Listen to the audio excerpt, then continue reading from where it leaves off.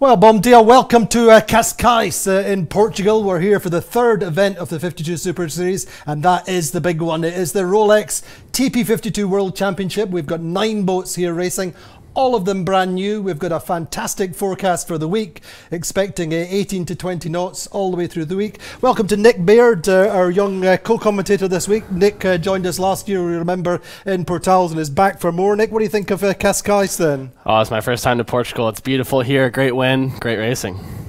A great place uh, for racing. Cascais has got such a great reputation and it's going to enhance that reputation I think this week. Uh, of so many uh, championships uh, over the uh, over the years we've been here. I think this is their fourth time for the 52 Super Series. The first time we've had a world championship but uh, the uh, the winds do tend to blow. Uh, we've had some fantastic uh, racing and regattas here over the years. Big, big waves, and uh, our very nice uh, race course tends to be a little bit one sided. But uh, we are the first time we've been here in the middle of the summer, and uh, lots of holidaymakers around. the atmosphere in the town is just absolutely electric. Lots of people on the beaches. And uh, the Atlantic is the uh, race course. It's uh, open ocean. And uh, we get days like this sometimes, strong winds, and this will be a very different test to Croatia where we had two, two regattas of relatively light breezes, much more exacting, almost closed uh, in arenas, and this is open water. So very different moding for the boats, and perhaps we'll see a different hierarchy. It was uh, the first two regattas uh, did certainly were good for the owner drivers. The chat on the dock here is that maybe this will be a pro driver regatta, but uh, the world champions are uh, Harm Müller-Spreer's Platoon. Nick, your thoughts on Platoon? Do you think they could win the, uh, the the title again? Oh, for sure. I mean, all the boats out here are getting so much more competitive, and you can see that in the overall results. But uh, Harm and those guys are good. Harm's a great driver, and they very well could do well here. Indeed, Harm uh, has won the Dragon Regattas here before, but uh, He's, uh, he's really one of the cool, calm and collected uh, owner drivers. And uh, we spoke with him earlier on. But uh, yesterday's practice race gave us a little bit of an indication who's uh, blowing hot, although it was lighter yesterday. It was uh, Quantum Racing which crossed the finish line first, but Phoenix were up there as well. Point for Quantum Racing is that Dean Barker is back on the helm. Doug DeVos steered in Croatia uh, in uh, in Zadar, the last regatta, and they're a quick shot of Onda. Well, of course, they feel at home. Closest thing they've got to home regatta for the uh, Brazilian team, speaking Portuguese here in uh, in Portugal, and Azzurra then a team looking to uh, win the world title again. Their uh, series, their circuit has not been so good up till now. And a quick shot there of Provezza's another team which really would need to make the, or want to make this world title their own. There are a few boats which have underperformed this season, and a world title really would make their season, wouldn't it? Oh, for sure. I mean, any owner would be happy with a world title no matter what the season looks like. So Absolutely, and of course the uh, top teams uh, all in the mix. Uh, Quantum Racing, I think, have won the. We've had ten World Championships uh, over the history of the TP52 champion, TP52 class, uh, and uh, Quantum Racing have won it five times, so maybe they're favourites here. But we did speak with the Harm Müller-Spreer, say very cool and calm on the surface, and he feels no pressure. They won it last time in Scarlino in Tuscany, and he feels that they're in good shape. So with Harm Müller-Spreer, the uh, 2017 52 Super Series World Champion. So Harm Müller Here we are, the World Championships, the Rolex owner driver of the platoon. How do you feel being here then? Ah, it's a really nice place. I mean, it's, it's a, lot, a, little bit untypical. We have a really cold season here. Normally, it's pretty much warmer. But uh, right now, we have the had the first day with typical wind conditions here from the uh, northwesterly or westerly directions, and um, feeling good. You feel more nervous with it being a world championship, or are you just uh, same as every other regatta? Yeah, I mean, uh, no, I mean what we achieved last year was a great uh, achievement, and we're not. Uh, it's like a normal regatta. Otherwise, you, if you're feeling nervous, make yourself nervous finally, then you have no chance to win. And how do you change things for this this regatta then, in terms of the breeze? Uh, we did a, a, little bit of keel changes and uh, some weight movements in the boat. We, we developed a new mainsail, uh, did a little with the head sail. So, well, we try to figure out how it works. How important is it to win here? Ah, it's it's it would be great if we are winning again, but I mean there are so many other challenges, and um, it's open like any any other regatta. What's your experiences here? You've won a few regattas here before in other classes. Yeah, we we we uh, sailed a lot in the Dragon class here, and uh, we had Gold Cups here. We won uh, the the King Juan Carlos Trophy. We had all the times tough wind conditions, but sometimes if uh, if it's cold and foggy, end up like a lake regatta here. Good. Well, as Harm Müller-Spreer says, raced here many, many times before with the Dragon. Uh, totally comfortable and this very solid team. Uh, they really have made no changes to their lineup over the last couple of years, and that makes a big difference, doesn't it? Oh, for sure. The familiarity with the team is a big deal, uh, especially in a venue like this where it's going to come down to close tactical situations and you're going to need to have the boat handling to execute it. So we uh, spoke with Nacho Postigo, the uh, weather, tame weather guru on the Provezza. Uh, Nacho was explaining the uh, science. Why do we get such uh, good uh, northerly breezes here? and it's all down to the Portuguese trade winds. And this was Nacho. So Nacho Postigo then from the Provezza. Nacho, why is it so windy here? Why has it got such a good reputation? What causes the breeze? It's a typical summer situation in, in, in the peninsula. And you have like a thermal low in the center of the peninsula, and you got uh, the high pressure of the Azores and squeezing a little bit against this low pressure. And the stronger it gets this low pressure because of the heat, the more compression of the isobars is, and the stronger north trades, if you want, as they call them, um, they are. And then you have the local effect of the Sintra Sierra. There is a small mountain there that accelerates and bends the wind around it and together with the local uh, uh, heating close to uh, Lisbon area, it's you get that effect of the trades and then enhanced by the by the geography of the corner and the and the heat of the of the shore. So it's a breezy area, but it's quite subtle the different trends out on the water. It is, but it's um, it's always um, a little bit. I mean, we all know which road we have to go. It's a little bit like the opposite of Palma, so I'm not going to explain more. but uh, but even if it looks like it's always the same track, uh, there's always small wind pressures caused by the uh, by the Sierra. Sometimes it's a little bit more windy offshore, sometimes it's a little bit lighter inshore, sometimes it's very even, and you have to pick up and say how much or uh, decide how much you're gonna bet into one extreme or the other, or stay in the middle, and that opens uh, the track a little bit more than what it looks like. And Provezza, are you big betting men? Are you? I think we haven't been betting very well. so you have to bet more. Uh, we have to uh, start better first. Um, after that, we'll see. It will be easier. So Nacho Postigo then, as uh, ever, blinding us with science, but uh, really giving us a good picture of uh, why the uh, we have this uh, nice, strong north northwesterly trade wind which blows down the coast and wraps round the corner here in in Cascais. But conditions, as I said, are looking uh, excellent for the day. Azzurra then, uh, say, are one of the teams which really would like to put their name back on the world title. Their season has not gone as well. Uh, they are 25 points off the uh, series uh, circuit standings at the moment. We spoke with the Guillo Parada, who's the strategist uh, on the Azzurra, and he was explaining that really they wanted to get things back on track here in Cascais. So here we are on the eve of the Rolex TP52 World Championships. You've won the World Championships twice before. What does it take to win here this week?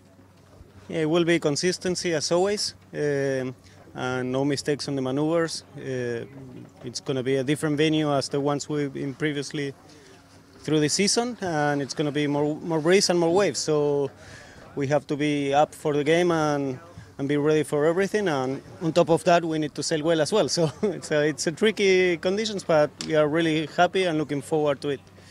It feels different to Zadar and to Šibenik. Yeah, it's different. Obviously, we enjoy those venues. Uh, we didn't have the results we were expect, expecting there, but yeah, here we know the place. We've been here before, and and we know what we can get uh, from the race course. So everybody has the same feeling as well because everybody's been here. But the season goes on and we need to keep progressing and chipping away.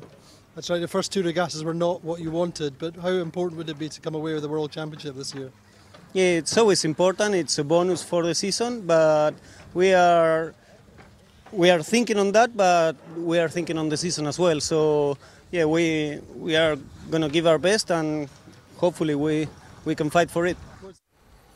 So that's Guillo Parada then as the strategist uh, on the Azzurra. It's been a difficult start to the season for them. They've brought in uh, uh, they've brought in uh, Santi Lange as a, as a tactician, a big change, but uh, obviously Santi a fantastic sailor in his own right. He's had success in the Olympics, but it, and the culture is the same. They're all Argentinian, but it's been a very difficult uh, transition, just in terms of the small details of communication, isn't it?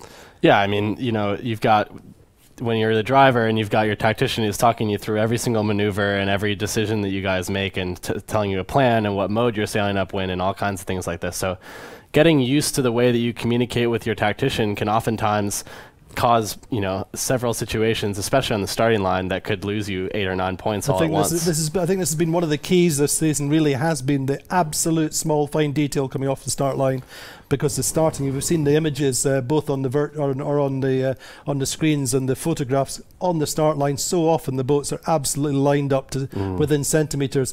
And also, what uh, Santi was saying when we've spoken to him, it's just about the the, uh, the amount of communication and the the the subtle changes in the communication. How much does he drive what he wants? How much is he listen, listening to the team what they want? And I think they're starting to get here. And I'm pretty sure that uh, Azzurra might be one of the teams that uh, they're also a team that are very comfortable in the stronger breezes. So let's have a look at the uh, series standings. We've had two regattas, uh, both in Croatia.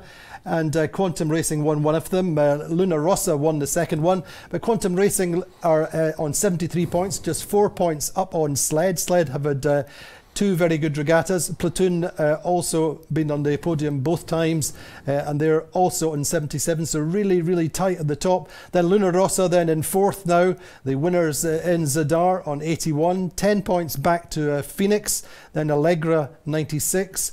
Battle uh, for uh, sixth and seventh between Azzurra and Alegre. Uh, Azzurra on 98, Onda 103, Provezza 110, Gladiator, who are not here, uh, 128, and Paprec also not here, are on 136. so very, very tight at the at the top. And so many teams just talk about the whole the whole season, Nick. It's not just about the World Championship here, isn't it? The Terry Hutchinson always telling us it's a marathon, not a sprint. Right. Well, you know, in order to find the best sailors, you're going to have to look at them in all the different conditions. So, looking at Zadar and Kier is totally different, and so you're gonna you're gonna see at the end of the season who's the best team, not just at the World Championship. Who's your money on? Oh, I don't know. It's pretty hard to, to tell, but I don't. I wouldn't be able to tell you right now. Well, maybe we'll have a better idea by the end of this regatta on uh, on Saturday. So the course orientation, the course orientation is say we uh, we're in this northerly breeze, and so it uh, tends to be blowing down the uh, down the shore there, looking at the the course area now, and so it does tend to be a little bit of a one-sided track. Uh, and uh, all the tacticians and strategists after guards know that. We do see quite often see this unseemly battle off the uh, start line. Uh, but it's uh, we'll be doing I think probably two windward leewards today, and the conditions are certainly good enough for that. We should get them back to back, and uh, much much uh, more straightforward uh, work for our uh, race teams on the water for Maria Torrijo. So we're looking there, uh, getting a good idea of how the conditions look, and that's uh, Prada, the uh, Luna Rossa, the winners of the uh, Zadar Regatta. Conditions looking pretty good, Nick. Yeah, I mean, the breeze filled in quite nicely this morning, early on, 10 o'clock, and then it's just going to keep increasing throughout the day. We might see a little bit of a shift to the right or left, but it, it's pretty much steady in the condition in the in the direction that it's coming from already. Um, so what we're going to probably look at is that that most of the tacticians would agree that the right side is going to be a little bit better. Um, there's just a little bit more of a of a shore effect there that's giving them shift and and a little bit more pressure, but you know all these boats are the same speed and their starting is getting so good That's that right. it's very difficult to There's fight for those lanes. boats can really get that Exactly. lane, isn't it? It's- So it, you know you might see a couple of boats that are going to sort of err towards the the pin end of the line, and, and they're they're definitely not going to go to the left side, but they might be on the left side of the fleet, uh, just going out to that right side, and it's going to be. I mean, everyone's going to get to the top mark uh, at the same time, and it's going to be bow to stern when they get on lay line there. Um, so the question is for all these tacticians and strategists is where is going to be the best spot to stack up on the lay line, and that's the biggest question for these guys uh, to you know put points up and down the board. Is you know, can they sneak in late port tack approach and get in in front of a few boats, or do they set up early on starboard and expect that a few people are going to mess up and uh, you know take a few points that way? So It's that's that old risk reward thing, isn't it? Isn't it? Particularly in day one. How far? How fast? How far? How far do you push in the first day? Right. Uh, knowing that uh, every point is vital, and you really can't afford to screw up on day one. What does they always say that you can lose? You can't win the regatta on the first day, but you Yeah, can you certainly, can certainly lose, it. So I think the uh, after guards will be very, very much aware of that. But uh, breeze seems to be nice and solid. I think we had uh, wind direction of 330 from about 18 knots. Looked quite gusty and puffy uh, on the water, from what we could see. But uh, this is a, a nice contrast to uh, Croatia, where the uh, winds probably averaged uh, less than 10 knots over the course of the two regattas. It was very much about uh, subtle uh, changes in boat speed and wind speed, and uh, it was quite often. I think it was Ed Ed Reynolds who was saying it's like bay racing, where you have to pick a side early on and stick with your side, and that really was a very apt description. And I think, with the greatest respect, Phoenix did that particular job quite well. They, uh, I don't know whether you watched all the races there, but uh, they managed the uh, starboard tack line quite nicely, got good starts and got out there early, and that really was their uh, their passport. I think there. Did you watch? Yeah, no, I watched all those races, and for sure the Phoenix guys did a good job, um, just sort of playing the open race course and understanding what the shifts were like and understanding the shore effects and things like that. And uh, they, you guys made a mention of this on, on the commentary last regatta that they did a very good job of staying away from the fleet, and we'll probably That's look to see them do that something similar again here, especially with the breeze up a little bit.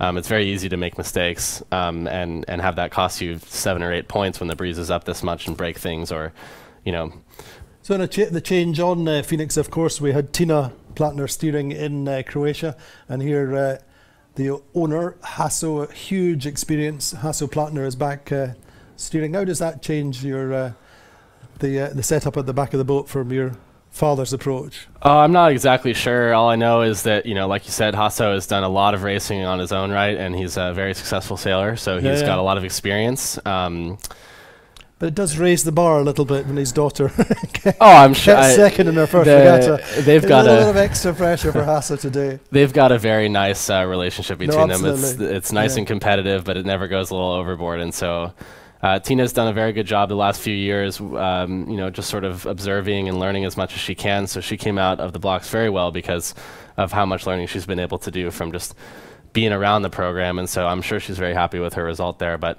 uh, I expect the team is just always trying to push forward, no matter who's driving.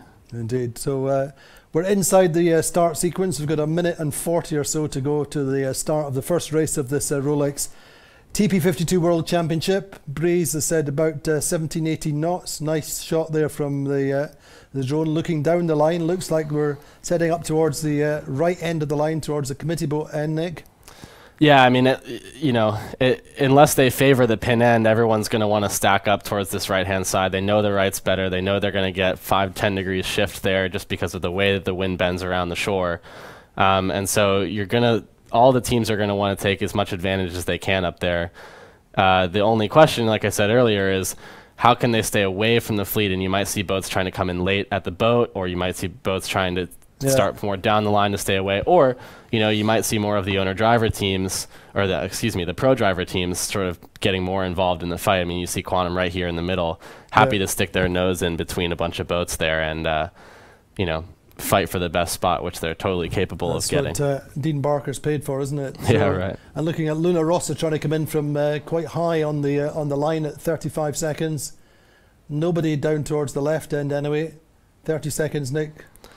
Yeah, well, you, you, with a big right shift, this I mean, it looks quite quite lifted on starboard there, and with a lot of uh, lot of bias for the but then that must have been the go there, and you got what four boats late. Yeah, it looks like it.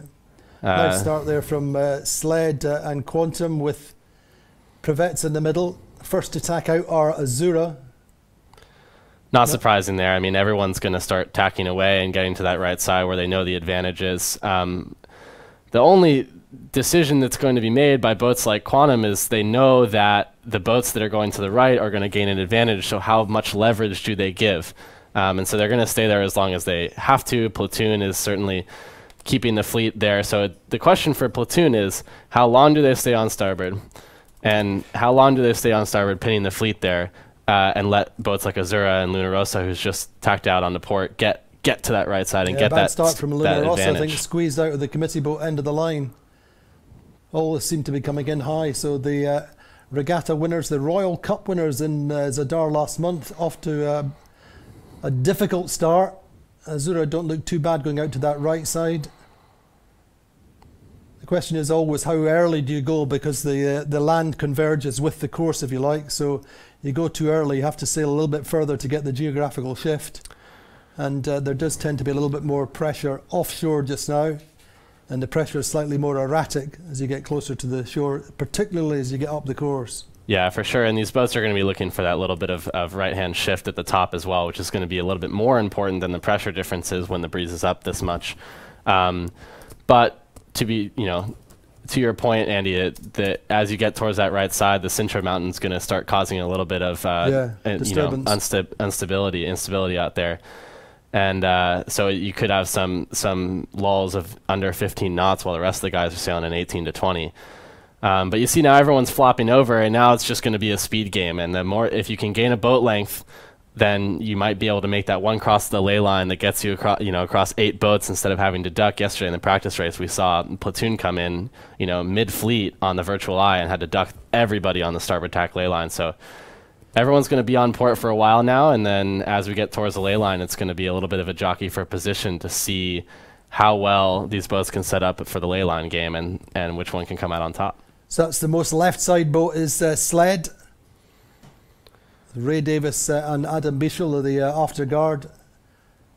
Both have had a lot of success here over the years. I can remember Ray racing with uh, the uh, Emirates Team New Zealand, and uh, prior to that, I think with Mean Machine. Never one to uh, s- sail the percentages up the middle of the course as, uh, as Ray, but uh, liking this left side early on, I think. Yeah, well, Maybe you know, just uh, couldn't get to the right, but uh, they don't look too badly there, too bad at all just now. No, the way that the the, the breeze is going to bend around there's a there's a big point out, you know, Yeah. a few a few miles north, and the breeze bends around it. So Uh, if you're out above the level with the point, then you, it's actually not so bad, is it? Well, down down it takes a while for that breeze to bend, so Yeah. down the course there's actually going to be a nice left shift Yeah. uh, compared to the mean. But Yeah. as they sail up on port, you're going to see on the virtual that the right boats are going to gain more and more and more, and I think the virtual is might be a little bit off on the so Luna Rossa got some uh, some work to do there, over well 200 they've got an behind. issue, eh? Their, their jibs down. All right. So there, something's something is is wrong on- on board Luna Rossa. So you see them trying to figure it out. But for sure, I think this race is probably, you know, they might be too late for this one, and they're gonna just trying to figure it out and get back into the Certainly not into powered the up there, program. So I wonder whether that happened just uh, before the start or on the start line. Oh, I imagine it happened about a minute ago. They were seemed in a very vulnerable position, so they Yeah. were probably just trying to stay out of the way. But there they are, jib down. Maybe a halyard broke or something. We're not sure yet. Um, Very we'll disappointing start for them, yeah, sure. Too bad, but certainly that's how things work, especially when the breeze is up this much. I mean, And of course, just to emphasise, this is probably as much breeze as they will have sailed in. Um, and in fact, uh, in terms of the the week, this will be the most, the strongest breeze mo- for uh, the most consistent period. We've had one or two uh, days or afternoons with uh, 17, 18 knots, uh, thinking of early on in the season, and a couple of days here and there. But uh, it puts a lot of strain on the boats. And of course, Luna Rossa was the last boat to be uh, to be launched, and it's had least uh, sailing time of the fleet. And just to emphasise, all nine boats here are, are uh, brand new this season. Right. Well, the Luna Rossa guys. I mean, for sure, it's uh, it's a newer team, but I bet a lot of these guys have had plenty of experience There's on no the boats. shortage of experience. They No, just for sure. haven't got the, the time on the water with the boat Yeah. in these in this kind of conditions. For sure, and and I think you know, it's a little bit of time on the water and a little bit of just you know, sailing is a, is a lot about equipment, and sometimes it breaks, and sometimes you can prevent it, and sometimes you can't. Um, I imagine that they probably did everything that they could to prevent that, and uh, something they they might not even be sure what broke. Um, but for sure, when you've got 18, 20 knots, the boats are under a lot of pressure. The loads are measured in tons, and uh, things can break very easily. Indeed. So we're looking at uh, quantum racing then. Uh, to weather off the uh, platoon on this drag race to the right side of the track. Provezza in the mix as well, lying third. Yeah, well, like we said, it's just going to be a, a, speed race, drag race out to the to the right hand side here. I mean, most of the boats will likely go to lay line on port tack now, and maybe a couple will try to come back early and force other boats around. When you have a small fleet like this and you're already in the top group, uh, you tend to try and push some of the other boats around uh, if you if you're in a position to do that because you can force them back and make them lose a few boat lengths by doing a few extra tacks or just by pushing them towards the pack where they might go slower because they have to pinch or duck yeah. or whatever it is. Um, so you might see boats like Quantum, Azzurra, Platoon, you know, start to put themselves in powerful positions that's pushing the rest of the fleet backwards uh, just to extend their lead.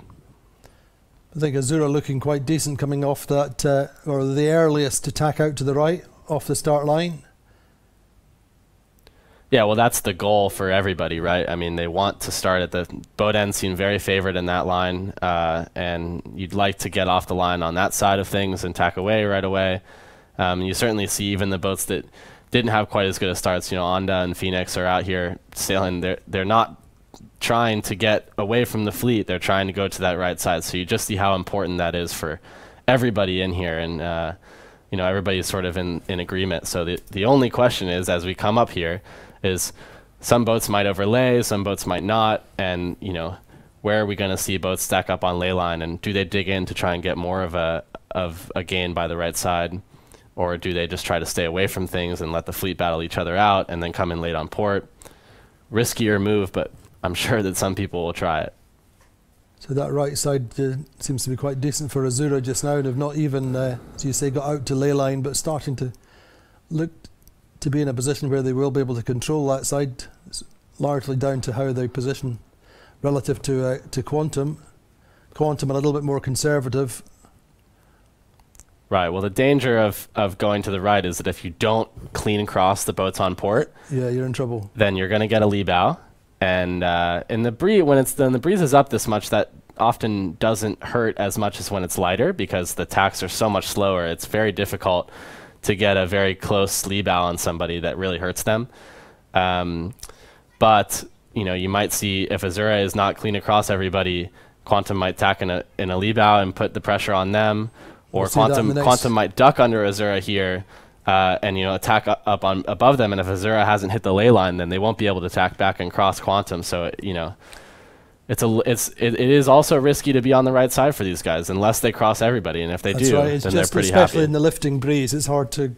You have to have that lay line absolutely perfect. Right. So you know we might see the boats that duck Azzurra here gain a little bit more by being further right, um, in which that would might put some pressure on them to to have a good lay line approach up at the top, or they might just extend far enough in the starboard tack lifts that they've got here, uh, and just you know not not be worried about the rest of the fleet for the yeah, rest of the race. Since they've tacked Azzurra, seem to be just in the uh, slightly lighter pressure. It's a little bit more dotty, a little bit uh, more up and down. It's getting closer to the uh, to the land. I think we can uh, have uh, Genny Tulloch. Jenny, can you hear us now? I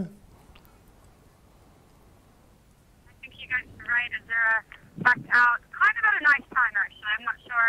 They're not quite lay line, but as Nick was just explaining, it's a little bit too soon to go all the way out to lay line. You could give up a lot of extra distance if that right shift comes in. And so it looks at the moment like they're crossing Quantum. No, Quantum's going just barely going for the duck there. So they weren't quite fully crossing Quantum. And Quantum's gone uh, to duck Azzurra, and then we'll have to deal with the boat that's just tacked in Azzurra's wake. But I think Quantum is actually going to cross them. So it looks like that's, that's platoon. platoon. So perhaps this is the, the lay line, in fact, because Quantum now is tracking as a lee bow um, underneath platoon. So maybe to our eye, it looks like they weren't quite there yet, but they might have all decided that if the right just comes in later, this will be the lay line. So the next question here is Provezza crosses through is the same. Can they make it across? Should they lee bow? Is this the lay line? And, and as Nick was saying, these are all really, really crucial moments, and this decision-making process here is, is everything. And Provezza looking quite good as well, coming across on port.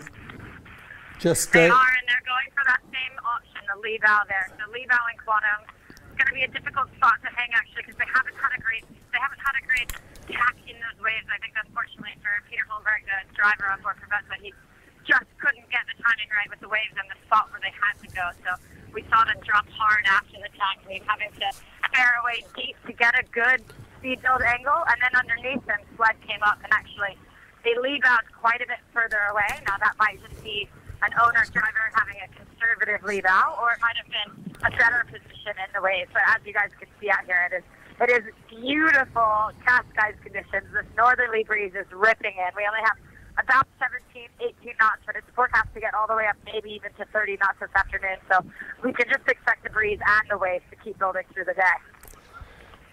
Yeah, well, you're certainly seeing the these boats pretty pretty big right shift uh, for them, and you know, the virtual is saying they're pretty far off lay line, so I'm not sure what the what the deal is, but uh, the virtual might be a little bit off. And you see platoon tacking away here. And um, quantum. and quantum. So maybe there's some uh, some port tack left to go, and uh, you see boats like you know Phoenix and uh, and Azzurra just going away from the fleet and away from the lay line to try and see if they can allow the other boats like Platoon and Quantum and Provezza to do exactly what they did and tack on each other and slow each other down, uh, while the other boats might just stay away from the from the pack and from the trouble and just go a little bit faster. Azzurra lo- started to look quite comfortable relative to uh, Provezza just behind them for sure. Provezza have tacked across as well. Oh yeah, well Azzurra is going to be very happy about um, you know that exactly what I said about pushing the boats around. They tack in a spot that uh, you know when sled comes behind them and tacks on their hip, then they force Quantum to choose whether they have a very bad lee bow tack because they wouldn't have been close enough to get in front of the bow of Azzurra, or a duck and then an immediate tack to to avoid platoon on starboard. Um, so Azzurra is sort of just causing chaos in the back of the fleet, and you see that they they've extended their lead by 50 meters by doing so. Yeah, exactly. And at the same time, Sled staying out of the fray and seemed to be doing quite well. Just, I think, out to to Leeward and just behind Azzurra. Yeah, well, you, you know, you'll see that this is going to happen. I mean, you've got the pack of four boats up yeah, there playing that each are other going to be, one you know, against the other, and uh, and they all tack on a starboard when the lured most boat on port tacks because they have to, and then they're all not quite making lay lines, so they all go back again. And then each time they do that, they lose a boat length or two uh, on the rest of the fleet, and you see boats like Phoenix and Sled gaining, hopefully, from the pr- perspective of those two boats. Um, that way, but you know they also are not as far on the right side where you can see a little bit of gain from shift. So so there we're seeing Azzurra having just tacked Jenny. Yeah, Azzurra playing a good conservative covering call here. There are, as you guys said, a pack of four boats just to their right that they do need to stay ahead of. And unfortunately for all of these teams, every time they tack, especially in these waves, they're making big losses. On the last little group of tacks there, Provezza actually made the biggest gain, so they had their best timing in the waves. Quantum Racing kind of made the biggest loss, I think, of that pack of four. But Azzurra is much more capable of picking their spots. They're they're out free. They're not being forced into lee bows, so they can choose a really nice moment in a left shift and maybe a flat water to go across, and then they can sort of pick in this loose covering moment here where they're just tacking now to cover this pack of four. They can again pick. I mean, it's a loose cover, so you sort of have a, a eight to ten boat length window of where you could tack compared where you could tack compared to that pack, and so you've got to assume that Guillo Parada is looking at where the best spot is in the waves to really be able to not just get the bow through, but then accelerate out of the pack afterwards. And, and they've done so nicely here. So I think looking below them, that pack of four, it really was Provezza who, it, to my mind, did the best job in the previous set of tacks to start even getting ahead of that fleet a little bit. But as you guys were saying, Sled might make some huge gains here. I mean, they might be able to come up right at the end, right on the final lay line, because I still am not sure even that Azzurra has gone to the lay line. It looks like possibly they have um, to our eye now. It looks like maybe they have Azzurra perhaps, but not the fleet of four. So for Sled, it'll just be all about whether when they tack up, they'll actually have a piece of that little pack of four, whether they'll have to be crossing behind, but have made some major gains. And I think for sure they've had clean air sailing out here by themselves instead of um, sitting in the bad air like quantum racing is doing. But it's it's a very typical that that leave out. If you have a leave out on someone or on a pack of uh, pack of boats, and you know it's a short distance to that lay line, then often it makes much more sense to leave out instead of make the huge duck. Because if you make a huge duck, next time they have a leave out on you or a full cross on you. But if you can force them out with a leave out and then you can leave out them on the final lay line, then ultimately you're winning at the mark. So I think that's why we saw that that big tacking duel of lead outs earlier. And now it looks like Quantum Racing, unfortunately, is the biggest loser of that tacking duel because they've just had to tack out Duck Platoon, and they're heading probably what is the final starboard lay line this time, but they'll be um, they'll be at least fifth, if not sixth, Sled gets ahead of them.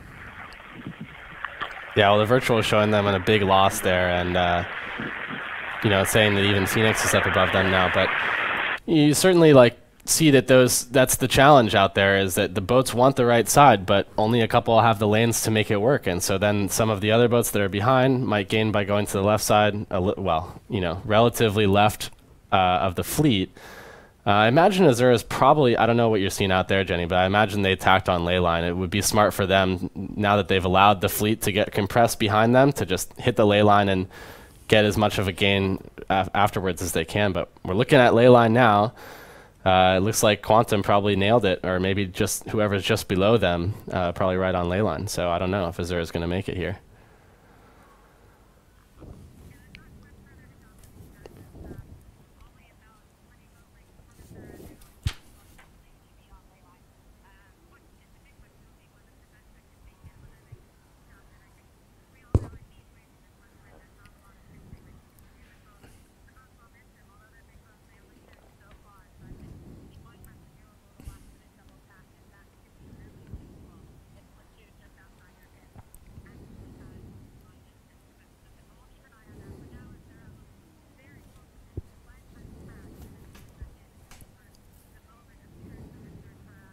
Davies, the tactician on board sled.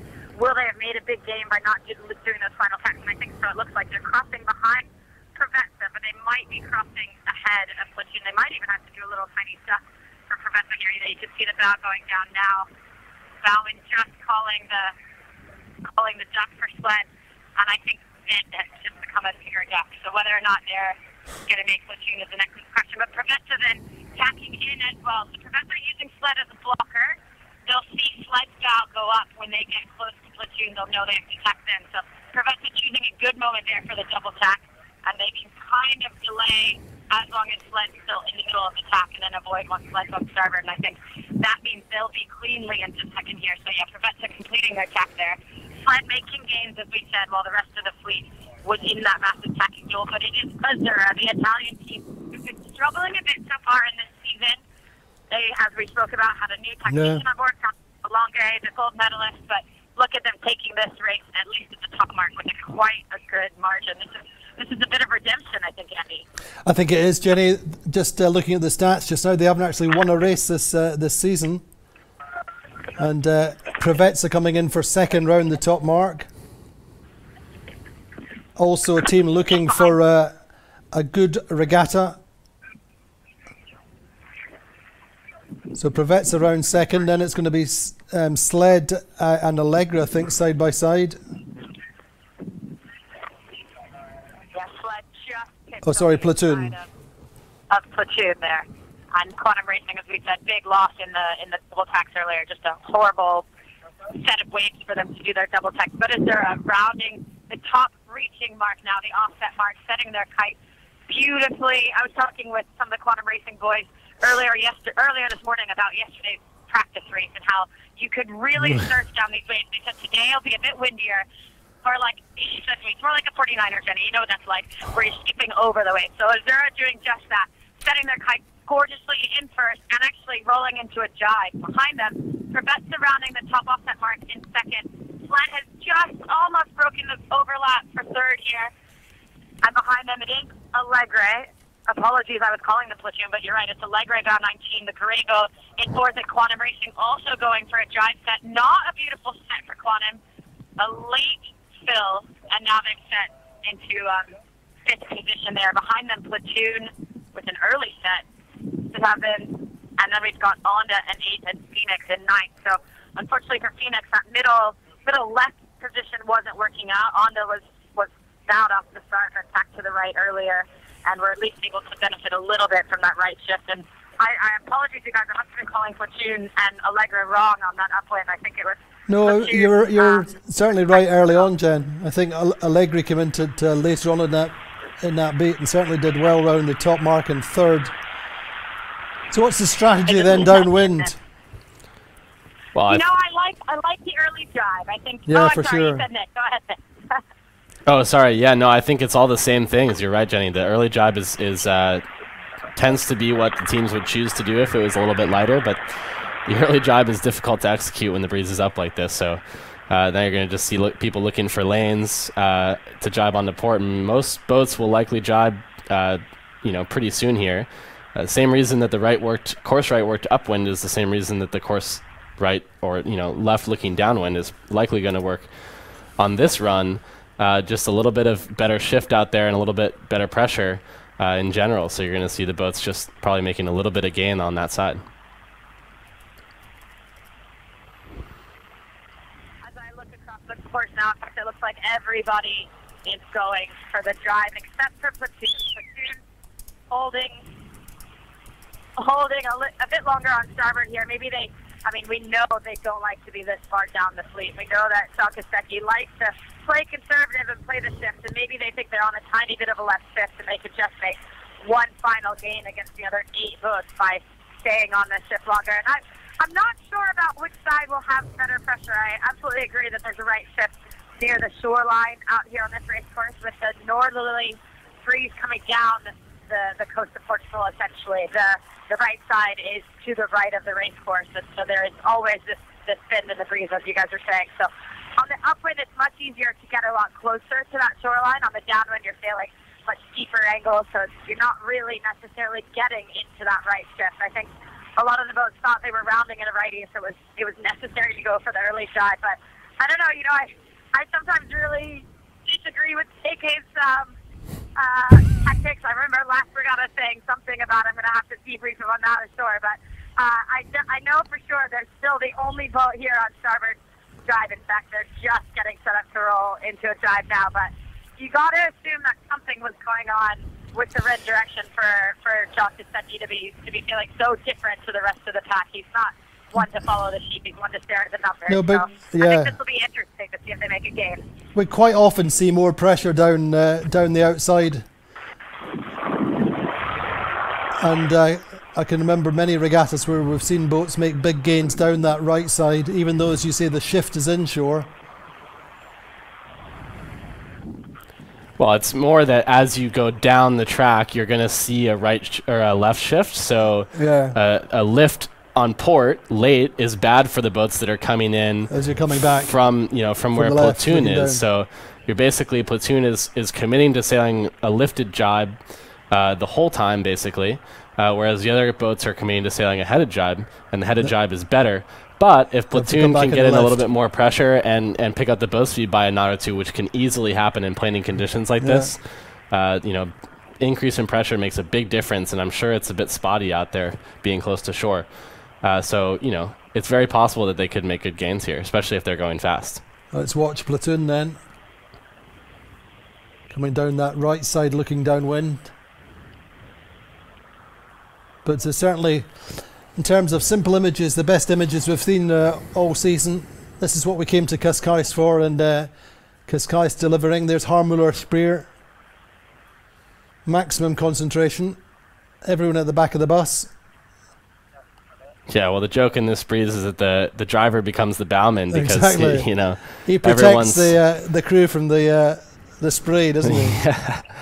everyone's as far back as they can get. Boats planing on downwind, probably picking up, That's you know, uh, yeah. 12, Dirk, 13 knots of boat speed. Dirk de Ridder there, Cheese uh, playing the main sheet downwind, and the grinders earning their uh, keep. Well, to me, I mean, it looks like they Yeah, I think Jenny just saying they made a little bit of a gain down this right side. Yeah, they're coming at together the with Quantum look At, here. uh, look at Azzurra. That's a statement of intent, if ever I saw one. Yeah, so platoon making a good game. We'll see if they. Unlikely they cross quantum here. I think Probably going to have to roll into a jibe or quantum jibes on top of them. I think. Quantum Or they wave across, all right. So that's definitely a wave by Quantum. I mean, they weren't uh, safely crossing there. And uh, I think that both boats sort of agreed that they didn't want to have a maneuver done and that they were happy to just keep going. Indeed, as saying, uh, we've seen this a few times here in uh, in Cascais, the uh, right side steadier breeze and quite often a little bit more breeze has paid off, and uh, John Kostecki spotted that, working, of course, with Jordi Calafat, the strategist uh, on board. Yeah, well, there's a lot that goes into that decision, and uh, Yeah. you know, confidence in your boat speed and things like that is super important. And like I said before, I mean, most of the strategists and tacticians are probably going to be betting on uh, the course right side working most of the time. And uh, you know, I imagine that platoon was happy to stay away from the fleet since they were I behind. mean, they were just in a position where they could go with the fleet and uh, stick with their position, probably hang on to that position, maybe lose a boat, but uh, nothing too much to lose from going down the right side. Well, for sure, for that, I mean the the thing about going, you know, driving right away with the rest of the fleet is there's fewer passing lanes that way. Yeah. There's fewer ways to get around boats because they're going to fight for their position with you. Whereas if you get away from them, you know you're fast, uh, which you know. I'll bet that their their average speed is a little bit up compared to the other boats. Harm's a great driver; those guys doing a really good job downwind, um, and uh, you know I, I'll bet they made a lot of the gain off of pure boat speed there. I think so. It'll be interesting to see in this uh, stronger breeze how the uh, how the Vrolijk boats do stack up relative to the uh, Botins. Whether the uh, two design offices have uh, converged in the uh, uprange conditions.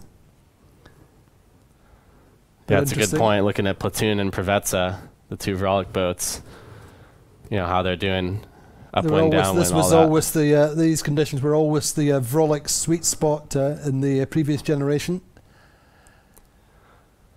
But uh, interesting, Quantum may have come back a little bit down that right side, looking downwind on Azzurra. I think this is where you're starting to see what you were saying exactly, Nick. The boat's on the left now, coming back in the lighter, slightly lighter pressure yeah, well, relative to uh, Quantum and Sled. I would say also you certainly are seeing uh, gains from the boats that have uh, you know the professional drivers on board, or you know, Yeah.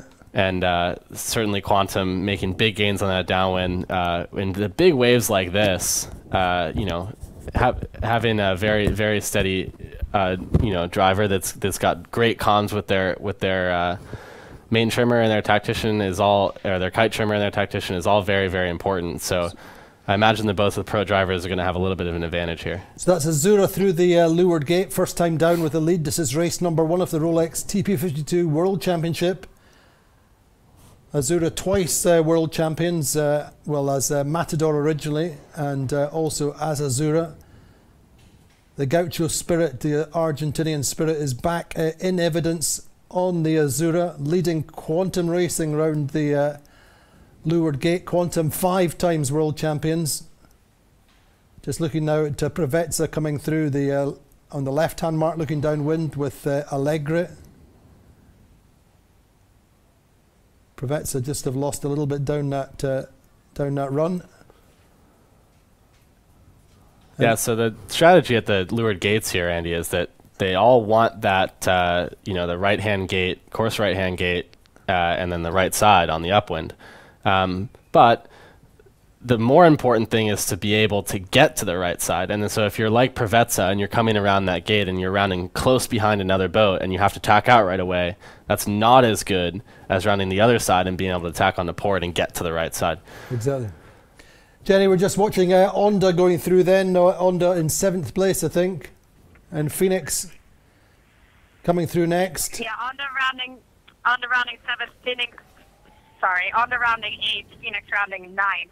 The Um, seventh no and eighth. between those two in the back of the pack, but I think the the really interesting was the move from seventh all the way up to third place for for platoon. I mean, that was a very impressive comeback, and we saw Quantum Racing as well move from what was about fifth place at the top mark into second, and I think we're we're very sure that that was good skill of both both the boat handling and also I'm sure a bit of the driving of Dean Barker. But I'm I'm very impressed by Harm Müller-Spreer. I mean, we got to see a really good long shot of them on the downwind, and you guys know how physical it can be for these drivers. But just to explain a bit to the viewers, maybe who haven't been on a TP52 with a tiller steering a boat that is this strong and this powerful over waves in the Nortada breeze is no easy feat, and you guys could see the entire crew stacked in the back of the boat. As you're saying, the driver becomes the bellman. I love that, Nick. That was great. But but for these guys, it is no easy task, and to see an owner driver like that take a move, and of course there was probably a bit of a shift and a bit of um, a bit of clear there as well. But that's not the only thing that was happening for Platoon there. There's got to be some really good skill driving downwind in these waves, and to see them move from seventh to third was extremely impressive, and I think goes to show why they're the reigning world champions. So, however, we can remember Scarlino, Italy last summer was a, a very different condition to this um, offshore open water big wave venue that we have here. So it's sort of anyone's game, and at the moment it's yeah the Argentinian Italians Azzurra who are who are running away with the first. But as we just saw, second all the way to, to ninth is still a very um, up for grabs position. So as you say, uh, then Azzurra leading by uh, almost uh, 200 metres, and that really would be a, a, big confidence booster just at the right time. I know that uh, Santi Lange has been beating himself up just a little bit. Uh, feels like he's made some uh, not so good decisions over the course of the first two regattas, and certainly feeling the pressure. Most of it coming from him himself. They're still a very, very strong and tight knit team. But uh, I think they, I know I spoke. I know that I spoke with uh, Guillermo Parada, and he said this is the regatta they want to win, get things back on track, and they've made the best possible start so far. They put themselves in all the positions to win this one. I mean, they had a great start near the boat. They were able to tack off early, get to the right early. This is a regatta that's about execution. You know, when everyone on the race course and everyone on the start line knows the game plan and knows what the play is, then it's all about who can execute it properly. And I think the last two regattas have been very different than that. When you're sort of um, smaller bay sailing with, with headlands on one side and islands on the other, nobody ever really knows which way the next shift is going to go. Here, it's very clear. The right side is favored. If you can get to the right, you can win. It's a bit like sailing in Lake Garda. Everyone sometimes even starts on port tack because they want the right side so badly. And I think to see this team execute like this, it's it's spectacular. And I, you know, no no harm to Santi because, as you say, he already beats himself up enough. He's he may have the gold medal in most recent Olympics in Rio, but it it doesn't mean anything when you come into a fleet like this with such legends racing on these boats. And I think the past two regattas maybe in many ways have been tactically more difficult because it's been more of a question mark of what the sailing was like and which side of the course would pay and what to do when. And I think he was just trying to learn the fleet as well a little bit. He kept saying, you know, I'm trying to learn these boats and how how the boats work and how the fleet works and the tactics of this are, of course, very, very different to the catamaran, the two-person catamaran that he won the Olympics in. So I think for them to show that as a team they can still execute and that this is why they were they were series and season leaders. This has got to be great boost for all the crew and all the morale, and hopefully it will be for for Santiago Lange as well.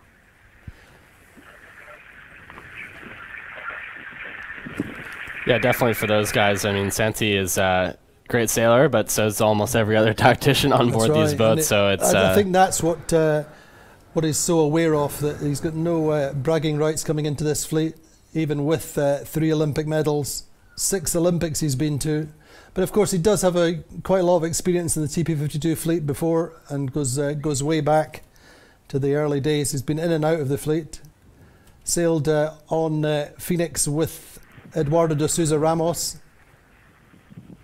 when the uh, when Eduardo had just uh, built his first 52 and they had uh, some good results straight out of the box. I think second on their first regatta uh, in uh, in Capri from from memory, but that was a light wind regatta. But Azzurra are very very confident in the breeze. They always have been. And another team that have been together for so many years, uh, the, certainly in terms of the core team, Yeah, well, the conditions definitely make a big difference for that, and it is it is all about execution, especially here in a venue where it's you know starting and getting to that right side. But he did a very good job, like we said on the on the first beat. You know, pushing a little bit of the fleet back into each other and uh, being able to extend that lead to 100 meters.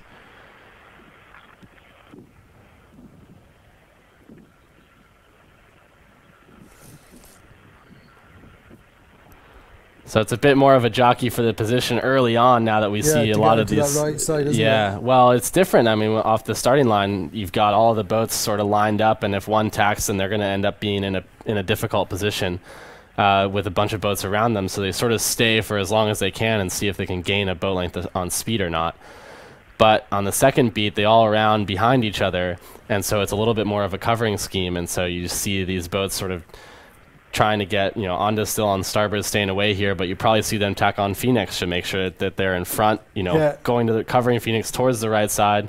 You know, you see Azzurra just sort of separating from the fleet here, but Quantum's worried about Platoon and Sled uh, positioning themselves quite nicely in between the two, just to make sure that you know whatever goes on, they'll be okay. And I think for them, they're happy to be a step up on Sled so that when they all come onto starboard, they can be in front of sled going back to the mark and covering them that way, uh, with platoon behind them at less risk of passing uh, because you know the right side is a little bit better. Yeah, but this uh, nine boat fleet, you think the uh, you know points become even more valuable. You know, you say that uh, in the previously, you know, you bang in a number of top fours, and you could be uh, pretty much guaranteed to win the regatta or be in the on the podium. Here, you've got to be top three. Oh, for sure. The the boat that, that wins the event's going to average, you know, between three and four, most likely, of the, Yeah. on their score line. So uh, you really can't push yourself too hard to pass every single boat. Um, well, that's right, but you but can't at the afford same to sit time, back and yeah, just so- be consistent or just be sitting thinking, okay, I'm fourth. So you You've might be pushing for the third. Right. Well, and the difference with this fleet is that you know, compared to many of the viewers fleet, who yeah. might sail in bigger fleets, uh, you know, you aren't afraid to really punish the one boat that's right behind you Yeah. because they're the only threat. You know, uh, whereas in other f- bigger fleets with more separation, you might have more boats very far away. You're kind of more worried about, so you're not gonna just tack right on somebody and you're gonna sail more of your own race. In this fleet, it's a little bit more of like a sort of a match race environment where as they get separated, you know, it's all about pushing the other boats around you back and trying to extend your lead as much as possible. They're over 100 metres in for Azzurra just now, Jen. They're looking pretty good. Yeah, they are looking good. I'm actually surprised they did those couple of tacks in the middle of the race course. I think they just kind of put a uh, covering tack on Quantum, which was maybe unnecessary, but maybe it makes you feel better. Sometimes it It's makes you feel better to do something than to do nothing at all. And I think when Exactly. you're not totally sure about the right side, does really, you might as well go, all right, we'll do one covering tack in the middle just to make sure. But as, they've it's as Terry Hutchinson would say, double check the triple check. Belt and braces. it's like when you're on the highway that's going slow and you go, should I just get off and go through all the, the back streets or, or should we just get stuck in this traffic on the highway and you get off to do the back streets and it's totally the wrong decision. But you feel like you've made a decision. I mean, here I think they could have just extended more and more by never sacrificing those tacks in the middle. But yeah, it makes you feel more confident. It doesn't look like they've lost. I mean, I do think they could probably still put some meters on quantum racing. Ah, the, the motorboat has just stopped for about the first time this entire race, so I could take my hoodie off. You guys, it is so wet out here for Oh. for whichever the audience bleeds. is watching the racing in your nice dry inside. We are uh, all wrapped up, hoods on, uh, trying to keep this microphone and phone dry so we could stay in, in contact with you. And I think, yeah, for the sailors, We're maybe it's easier. They have some height, height between themselves and the waves. We were sitting here with our coffees and a pastel del nata. So, I anyway, may or may not have had to have had one when I got off the plane last night. That is what Portugal is famous for. I was like, hello, welcome to Portugal, and here we go with the best night. Okay, Exactly. But you guys, it's not actually kicking up as windy as, as we thought. Yeah, I we're- think when we thought we, yeah, we got out here that it would be right quickly into the 20s, and it still feels still about the same, maybe 18 knots. Maybe 17. We know it was uh, 325 wind direction was what this course was actually set for in the end. So um, a little bit of oscillation between that 330, but um, mostly the fleet's just playing this right this right corner, and I think Azzurra is probably tacked on what's relatively an easy lay line. We're a bit farther from the top mark still, and we are uh, heading back towards it now at pace once again. So if we lose, you guys apologies, but I think it does look like Azzurra and Quantum sort of starting to leg out a bit on the fleet.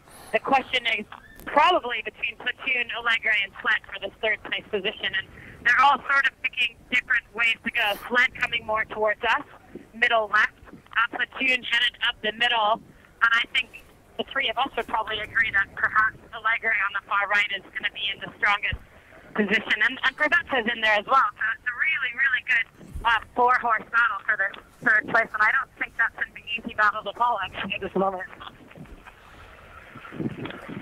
Yeah, we'll certainly see what happens. I mean, we're seeing going to see the same picture all week, uh, with a couple of boats sort of stacked on lay line and maybe a boat or two below them trying to gain speed by staying in clear air. Um, but you know, it, the the question, the difficulty is, and you're seeing Azzurra here, like you said, Jenny. It's hard to tell if they're on lay line. They've got a box that their navigator checks in, like a computer, that tells them when they're on lay line. But it's not the most accurate thing ever. Uh, they've got pings on the windward mark and everything, and, and they've got wind direction. And they can sort of calculate it out right there on the boat. Uh, but things change. Yeah. Um, and so it's difficult for them to call lay line knowing that there's going to be continually more right shift as they go up. Um, so oftentimes you'll see them yeah. underlay to make sure that they don't overlay because two tacks is worth maybe three boat all- lengths, uh, but th- you know, overlaying is- by more than yeah. that is I mean, this is typical of here. That is always the equation. That's always what you're trying to solve. Similarly, in Palma, you know, in a right ha- or left side track in Palma, you go under the lay line, everybody lifts above you, and uh, and uh, in the lifting breeze, it's just hard to call that lay line. Anyway, here's a a question for uh, for you, Nick. Who would you say is the best helmsman in the series at the moment? Oh, that's a really good question. I think you'd, you'd probably have to divide that into pro drivers and uh, and and then the owner drivers, right? Yeah. Um, so I think, and then you can probably see that this this worlds will show that uh, certainly there are more experienced owner drivers than not. Uh, Harm has done a very good job as an owner driver. He's he's quite a good sailor. Um, So, but, but equally, so is Takashi Okura and oh, uh, for sure. There are many. I mean, Soriano. all good, And, all and good uh, sailors. here. Eduardo de Souza Ramos has been to two Olympics on his own right. Right. But Um, uh, you know, I think it, for me, it the driving is only the most important part is whether you can uh, take the input from your crew and execute on it. And we've seen right. platoon do that over and over again, fight through the fleet, get go really fast at times. Um, and so, you know, a lot of credit to that boat for that for that driving. Um, and I'm not sure the the pro driver. It's a little bit more difficult. Um, certainly, the Luna Rossa guys have done quite well. Yeah. Um, but you also look at Dean Barker on Quantum, uh, you know, coming up. I don't know how much 52 experience he has, but this is certainly his first year with them. Um, so we'll see how he does. But they've been um, they've been doing quite well, winning the overall series. So maybe that's your answer. What do you think, Jenny? Who's the best helmsman in the fleet? This is a fun question. Um, yeah, I mean, I think that's a good point. He does he does have 52, uh, 52 seasons in itself, Dean Barker, from the top, and then of course went to Yeah, I mean, De- Dean go- yeah. The Dean goes right back with 50, the 52s, right back to uh, 2006. With, Back when uh, New Zealand had a team. With Warpath, and then won it twice with Team New Zealand. Sailed with Bribon. He sailed with uh, lots of different boats in the fleet over the uh, over the years. Exactly, exactly. So I think it's I think it's neat to see him come in and, and remember how to sail the boat, and especially you know with with um, different team members, different crew. The on the dock today, Cooper Dressler, the the young guy on their um, boat, one of the big grinders who's also with them on American Magic, was saying how cool it was yesterday to to see the communication between Dean and their Kimmer on the downwind. He was like, it was just fabulous. They were so good. And again, he was talking about the surf yesterday, which is a bit different to today, sort of skipping over the top of the waves. But I was asking, like, how long does each surf last? And if it's between five and ten seconds, were you guys eking it out closer to ten when other teams were dropping off more at say five? And he was like, you know, I'm not sure if we were if we were lasting longer or the surfs were staying longer than other teams, but we didn't miss a single wave. And I think that is probably when we talk about the what Nick was saying about the own, the driver being able to to listen to the crew because it's not just the tactician. The tactician says where to go. On the upwind, the main sheet trimmer sort of says how to drive, and on the downwind, the, the spinnaker trimmer sort of says how to drive. So the, tech, the the driver themselves is getting all this input from all these other other people, and then at the same time their own their own feeling of the helm, and especially the tiller on the majority of these boats. Actually, all the boats because Gladiator's not here, so they have to be able to really multitask, even if they're not aware that they're multitasking. Um, I mean, it's unfortunately we don't have a female driver this week, but we did last regatta, and to talk about multitasking and females being good at that. They were winning going into the last day. So I don't Steady know. on, let's Maybe not go there's there. something to it. you know? But anyway, so as, we, as we're chatting away, rounding the top mark here, and definitely having extended their lead from the bottom mark into this moment is Azzurra, and they are happily flying towards the offset mark right now. Um, Spinnaker coming out on the bow, Guillermo Parada and Santiago Lange trying to iron out the kinks in their tactician driver new relationship, but they are doing so in fine form this afternoon. And if you can see behind them the distinctive sea breeze sort of over the mountains of what's basically Lisbon behind Cascais and Azzurra just sailing away from it beautifully. A little bit late, perhaps, on the setting of the kite, um, but the kite is filling and it looks like it'll be fun. I think we might expect another early jibe, though not a jibe set because it's much easier to. Actually, it wasn't a great set. Their kite is still flogging a bit longer, um, but behind is there a a long distance back, just rounding the top mark here, is Quantum Racing for second place. So we were just And talking about Pete. Barker, how he remembering to, to steer the boat. He wasn't steering at the last event. Doug DeVos was. So again, he's stepping back on board and, and remembering even just from the first regatta till now. But they won the practice race yesterday, as you guys know, and as the viewers probably know, and they they did beautifully in that last downwind, going from fifth to second. So I think we could perhaps see them um, make some gains, but see. Behind them, then, Alegre into third position. So we we were making that question of those four boats, which one would pay off, and we said probably the right. And I think, uh, is it Alegre though, or is it a white boat? No, it fled. So it wasn't the right boat. It was the furthest left boat of that close pack of four. Yeah. Uh, Mr. Okura pulling out from the left for the second upwind. They also made the left play a bit on the first upwind as well. Behind them, Provezza and happily and maybe shockingly, Onda has stepped up eighth place earlier into uh, now a fifth place position. So good on Onda. I don't even remember where they necessarily, but maybe they're feeling comfortable with their Portuguese speaking team, even if they're from Brazil and not Portugal, and they kind of played a little local flavor somehow there catching up. We'll have to take a look back at the tracker to see where they went and then what happened to Platoon because they were all the way up to third and now they've dropped all the way back to seventh again. So we um, we uh, are seeing a very, very tight battle here. Platoon about to get rolled by Alegre. So Alegre also dropped back hard in that in that battle. They were in that fight for third, and they're now in seventh, just rolling over the top of Platoon. I'm gonna I'm gonna say nobody has jived yet. I'm gonna say this will be all about when to time this first jive and whether they only do one jive to the finish. I think with nobody jiving here, maybe they're in a touch of a uh, of a left shift. In fact, sorry, Azzurra has jived way up in the front, but I would sort of expect Platoon and even Onda to jive soon because Onda's getting rolled. Onda, in fact, kite is flogging. They just went from what was fifth to the kite still flogging, so they need some real muscle power on board that boat to get it back under control. And they've just gotten it under, under control there. But that was a big mistake by um, a team we were just talking about earlier, a relatively new team to the series this year. A lot of Olympic talent on board, even just in Robert Scheidt himself with numerous Olympic medals. But they've been trying to learn how to get it all going, and they had a fabulous first event. I think finishing third or fourth, Andy.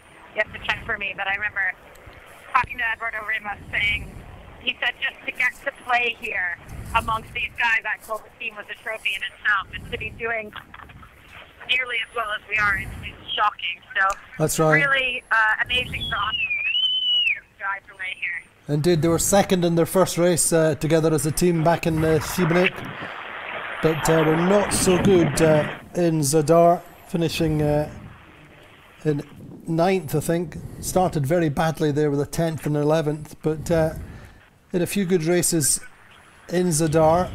But I think this is much more the kind of conditions they enjoy. Of course, Robert Scheidt, nine uh, Laser World Championship wins, and he's sailed here many, many times over the years certainly knows his way around the racecourse uh, here in Cascais.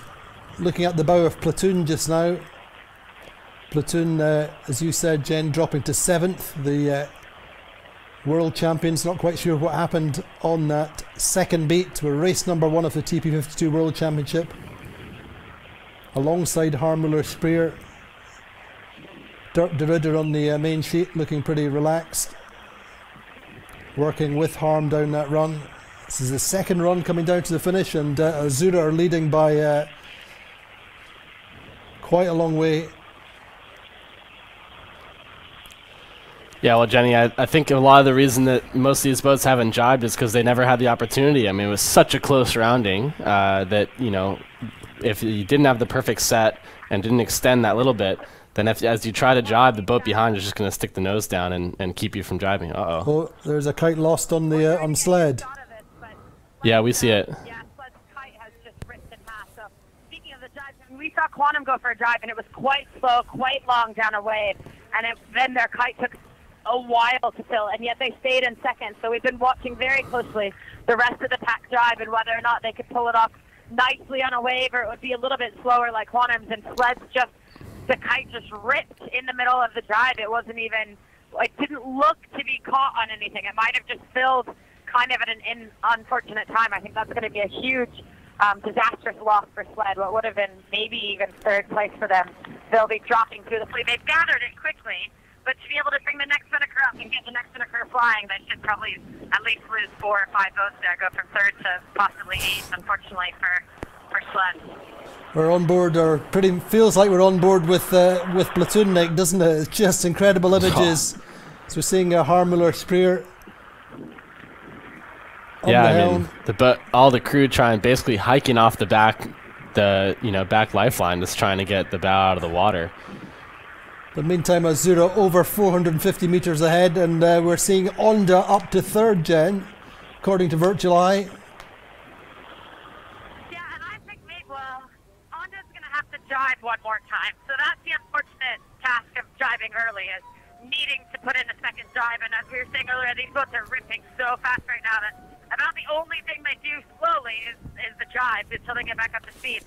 And if and if um, the other two boats, platoon prevent, uh, can actually finish without having to jive one more time, they should make some gains on Onda. We are trying to get down the course right now towards the leaders of Zero. I think there's probably no way we can catch up to them. They're going much faster than our little red can take.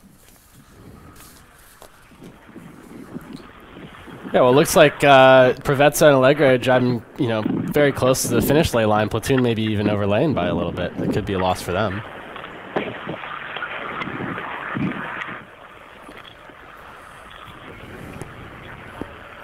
So we'll see what, what happens to the virtual. For sure, having to throw another jibe in, the boat speed drops about half of what they do uh, while they're on that plane. For sure, jibing is not not very fast, so you have to have a really big reason to do so. I think getting across the finish line is is a good reason, isn't it? Well, for sure, but Yeah. doing two extra ones is uh, you know No, tough completely. sometimes. But for sure, if we could, uh, if Onda could hang on to this, that would be a big boost to their confidence after the uh, last regatta in Šibenik. There's a lot of pressure there in that little group with uh, Provezza and Alegre. Phoenix catching up just a little bit, getting back into the mix. And Sled have lost right out with that uh, kite rip. Nice shots from overhead with the uh, platoon ripping down this right side, looking downwind. Second run of uh, race number one of the Rolex TP50 World Cha- 52 World Championships here in uh, Cascais.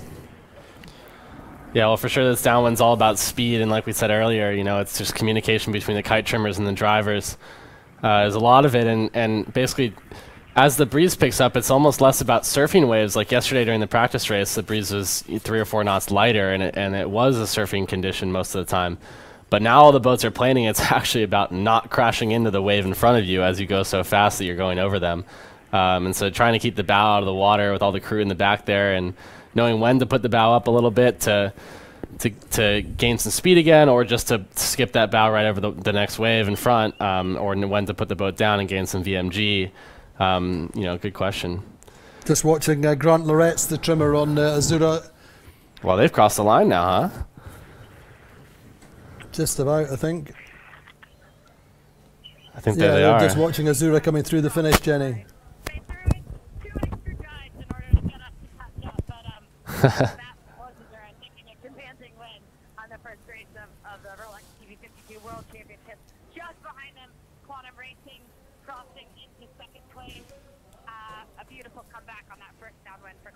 And able to hold off nicely on the downwinds. And I think, as you guys can see, these two boats have really put the pedal down compared to the rest of the pack behind them. It's another probably 200 meters or so till the next boats come into vision. And who's that going to be?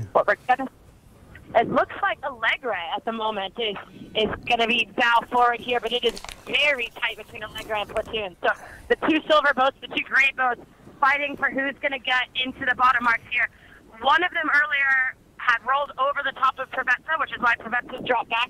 But now we've got a little starboard port battle here, and it's Alegre bearing away, trying to drive in front of Platoon, driving in front of Platoon, in fact. But Platoon going over the them, she's going to roll over the top. And whether they can do it at the gun before the marks, it looks like they will by about half a foot. So Platoon just rips into third place over Alegre. That was spectacular um, boat handling and tactical decision making. Green flag from the umpires. So all clear there, and it was just coming in just behind them. Not quite as close behind those guys here for Phoenix, but Phoenix instead nipping just in front of Onda, and unfortunately for Sled, lost out massively on that downwind. So Sled rounding out a very, very tight battle for um, nine boats, but apologies, only eight boats racing there because Luna Rossa had dropped out early on due to some problems with their jib. So crossing the line for eighth position, Sled went from much higher up, I think maybe even third or fourth to, to an eighth. And I think you guys, we can see that the racing is never over So close. until the downwinds are over because those are some exceptional um, position changes and place changes all through the fleet.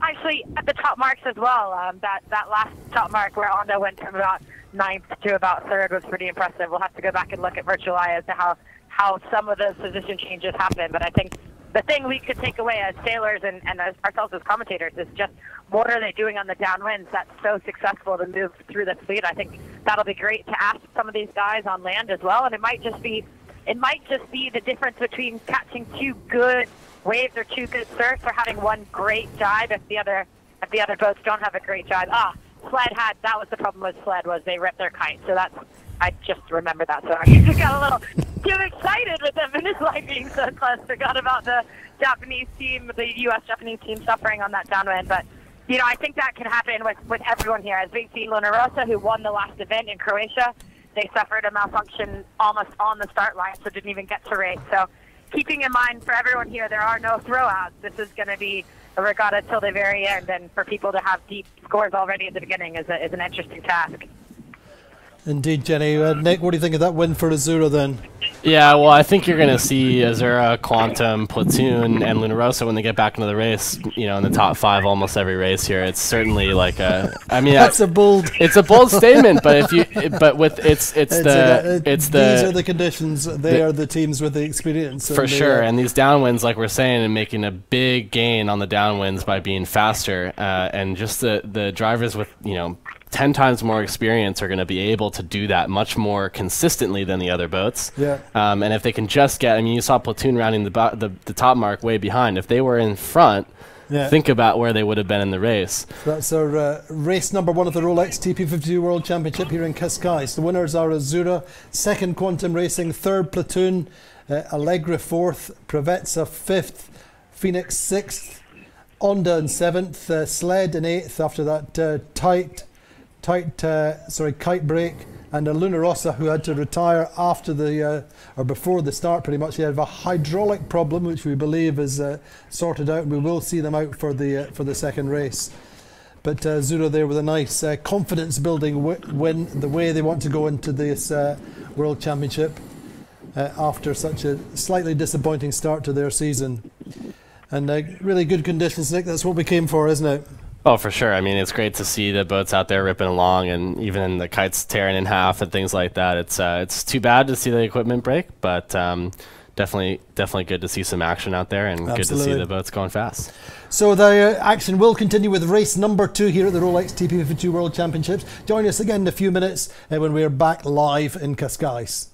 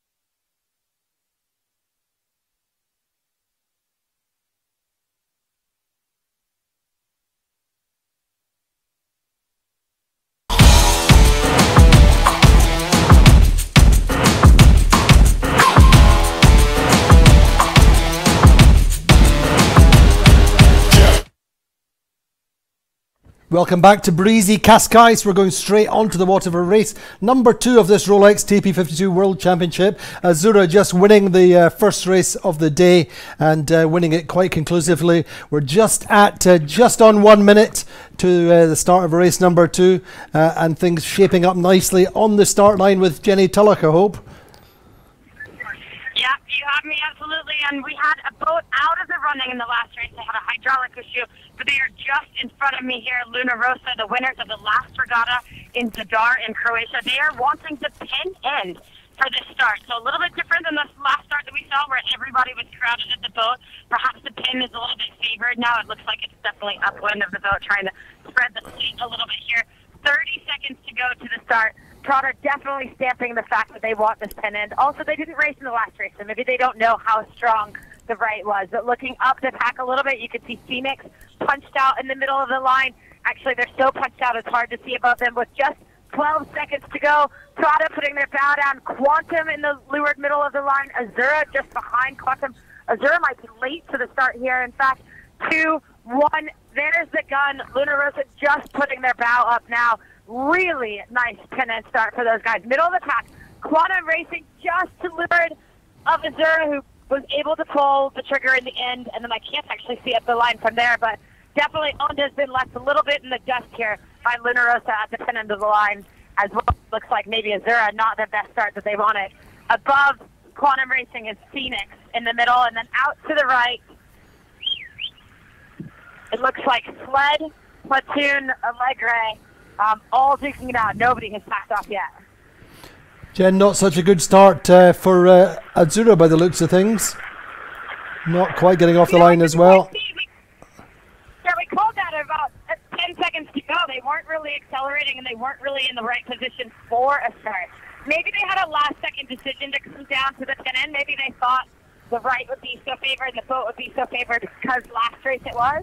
And instead, it looks like the pin was really pulled upwind a little bit here. So whether we had a last second left shift, or we have the race committee decide to favor the pin since the race course is quite right favored. But I think maybe they just they weren't quite in the right position and then decided um, late to come down and didn't ever really execute forward enough. So yeah, they're very much being rolled by Quantum Racing here, and they unfortunately don't have any distance to pack out um, because the, the fleet's so stacked up outside of them. So going to be a little while before we see the majority of the fleet pack. I think one boat has just gone on to port. I can't see if it's Alegre or Platoon from here, um, quite far away, but they had had a bad start already. So we'll see if they're able to make the right time pay.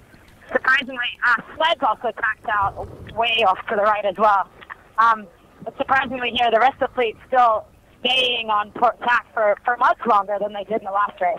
Yeah, Nick, what do you think? A good start from Quantum. Uh, and as Genny said, uh, Luna Rossa picking that pin end seemed to keep the bow down, really build speed quite nicely coming into the start, sitting a little bit lower early on.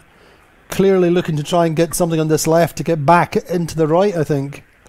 Yeah, well, something uh, changed. There's got to be a bit of a bias to the pin end. Maybe the race committee deciding that they didn't like that everyone was just going to the yeah. right lay line there, so they tried to make it a bit of an, more of an open race course. Um, but you'll certainly see all these boats flopping over to the right side again. So the question is going to be whether Luna Rossa's Quantum's, you know, pin end bias is going to take them all the way to the leading position at the mark, or if boats like Sled and Platoon are going to gain on that right side uh, as they come up the course. I'm not sure. Azzurra not quite as as uh, sharp off that start line, getting sandwiched between uh, Quantum and Phoenix, really. Yeah, a little bit of a tough situation for them, and it's definitely you know the crowded end of the line ended up being the pin, which I think was probably surprising for some of these teams. Um, so you know maybe not exactly what they expected, uh, but definitely when the breeze comes up, and it seems even windier. And Jelly, Genny, you can confirm this, but uh, you know all the teams have gone down and code in the jib, um, and so it, it does seem quite windy. Um, and and when, when when the breeze comes up, you, you, drift down the line much more, and it's a lot harder to hold your spot. Uh, so in order to line up early enough, the boats are going to end up further towards the pin if they if they all jockey for position early. You know, minute 32 minutes on.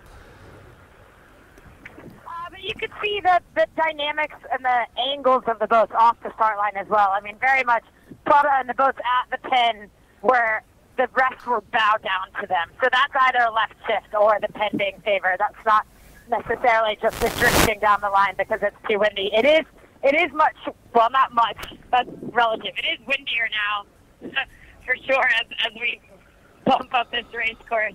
Um, and yeah, I mean, you can see the teams are already hiking their hardest in the last and the last races as well. So it is now about peak power. I'm going to finish that one more first tail to go that's smaller than they then they go that way and they start to really peak power the mains. I mean, not a single wrinkle in these mains. You can see.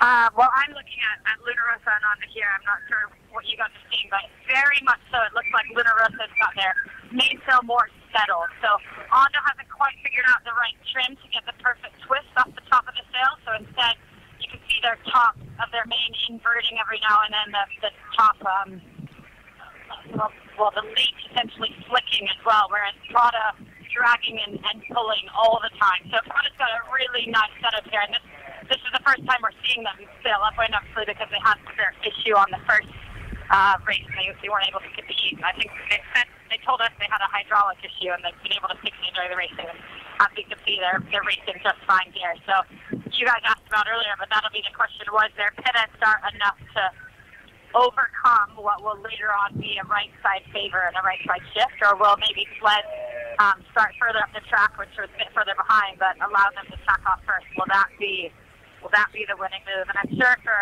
Ray Davies, the technician on board sled, that's what they're going to be hoping for because they were really doing nicely last race in that third place until their spinnaker split. And I think they're going to be um, out here rearing to go, trying to, to prove that they they can be. They, they've been only vote to be on the podium in both of the first two regattas so far this season. So they they can be on the podium. They would like to be again, and of course, I'm sure everyone out here would like to win this well.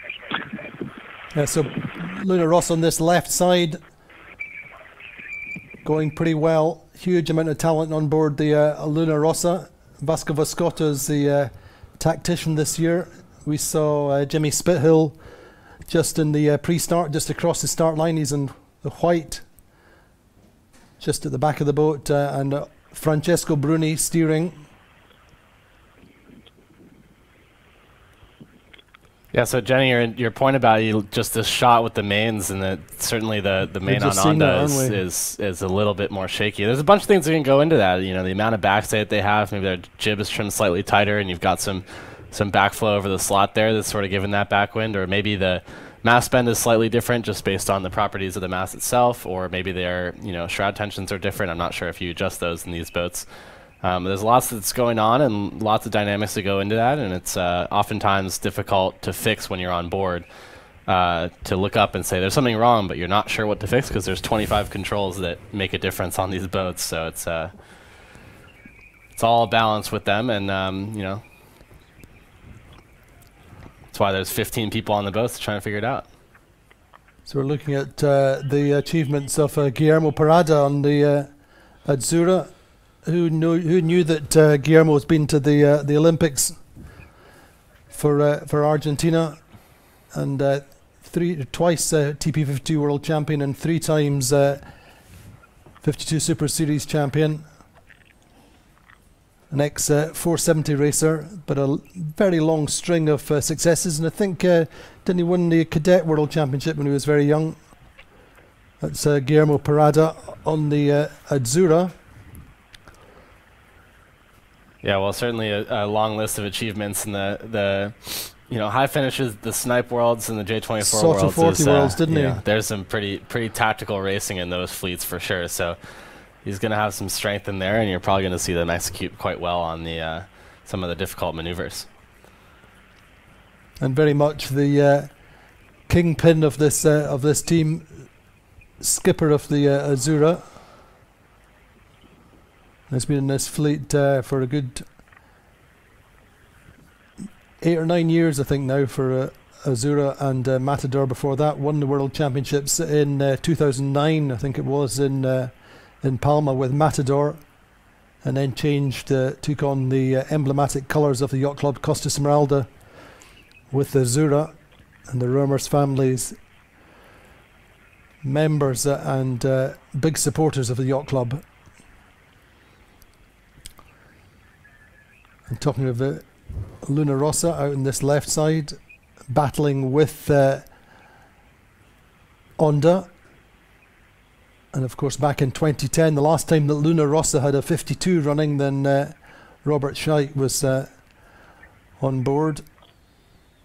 Did a season with uh, with Luna Rossa. It's a nice onboard shot. Looking down, you see probably what the uh, if, a, if a VIP or a guest was on there, that'd be, that'd be the, what they were looking at. Um, but you know, all these boats just marching their way towards that starboard tack lay line, trying to position themselves to play the game. And you know, Quantum, with their good start and they're going quite fast, you know, they put a, put about a length on everybody there. It's going to mean you know, very very easy decisions for them if they're going to be able to cross those starboard boats coming back, and they just sort of can extend from there if that's, Well, we if are that's seeing the it. case. Our virtual is showing us that uh, Sled and Alegre, I think uh, the first boats to get out to the right, along with Yeah. Provezza, seem to have the uh, early advantage. Just looking at it now in virtual. Yeah, we'll see. You know, we'll see as that comes together. Yeah. That you know, the virtual can be off sometimes by a little bit, but I wouldn't be surprised to see those guys gaining quite a bit. And that was the question: is, you know, as they favor that pin end, then do you take the line bias, knowing that you're going to gain two or three boat lengths right away? Yeah, Uh, and how many boat lengths are you going to gain as you get towards the right side? And the, the, depending on what the leverage is and how the fleet pans out, it can be totally different. Um, and so maybe a three boat length gain at the pin, but a five boat length gain by being the rightmost boat means that the rightmost boat gains by two boat lengths. exactly. And so We're going to that's what find that out in the next few minutes, aren't we? Right, but that's what all the strategists and tacticians are trying to decide. Um, you know, is what what works. And certainly, if you know you're fast, the safe move is to take the line bias, yeah. um, knowing that you're I mean, already uh, going to yeah. gain that way. And that's an interesting point because uh, Luna Rossa have sailed less than most of the other teams in the uh, in the fleet. Though Vasco obviously knows uh, knows the fleet, but doesn't know his boat as well. That's So- true, but I will say, over my few years of watching the series, Oh. Vasco loves to start at the pin. No, he does absolutely. So and we've so uh, and uh, not all that surprising to see them winning the pin down there. They're, they're generally Yeah. unchallenged when he's uh, in charge of the boat. we saw there. that quite often in uh, in Zadar. In fact, there was one or two culprits, or uh, shall we say, boats which favoured that the the pin end there, and he was one, and Sled was uh, one of the others. So how's Yes. it looking, Genny? We're just watching uh, Luna Rossa coming back from this left side, still with uh, Onda. And I would say it's definitely going to be a right favor here. I mean, it looks to me like Sled should be crossing this entire pack. I think outside Sled, if that's Alegre who went a bit further along, that'll be the only competition for Sled. And in fact, you're looking for Luna Rossa here. Just gone for the lead out underneath Azzurra, and they're kind of they're almost I would call it a lee stern. I don't I don't want to call that to them, but that's what it looks like. It's a, last, a late minute decision to to not keep crossing to hope for maybe one more piece of left side favor later on up the course. And I think for sure that was it. It was being able to get early and out to the right and to be able to, to take advantage of being the first to this right shift has made them um, at least top two. I'm not sure if they're actually leading. If it's Alegre who's furthest out to their right, it might be Alegre leading. It just continues to look like the right shift is bending this fleet further and further right, and the and starboard tack is getting more and more lifted. So that'll keep going the way of, of the gray boat Alegre if that's um, if it stays. As they come out to the top mark, though, it could come back the tiniest bit more left, and that would then favor Sled for the winning position. But I think probably that's what Mineros is hoping for. It's a tiny bit more of a lefty once they sail away from the headland, and to be able to kind of execute on that. And we saw it work on the last upwind. We saw that work for Sled, while the five boats behind them or four boats behind them with each other. Uh, Sled made a small gain, middle, left, right at the very end, and we're able to capitalize on that on both of the upwinds. So it's not all over for Luna Rossa, but it, it's not looking good after such a great start. Yeah, well, that's the risk of being out on the left side is that if you just don't quite cross all those starboard boats, then suddenly you're ducking the entire fleet, um, and there's not really a whole lot of options back. So it's a risk and it's challenging, and uh, that that's the decision that people have to make. And, and certainly, you know, making a decision eight minutes before it's going the you know the results of it are going to be shown on on the water is is tough. It's very difficult to do. Indeed. So we're just seeing these races are a little bit, little bit shorter and sharper than uh, we've seen this season, around about 45 minutes, as opposed to normally we're just on the hour for the uh, two upwinds, two downwinds.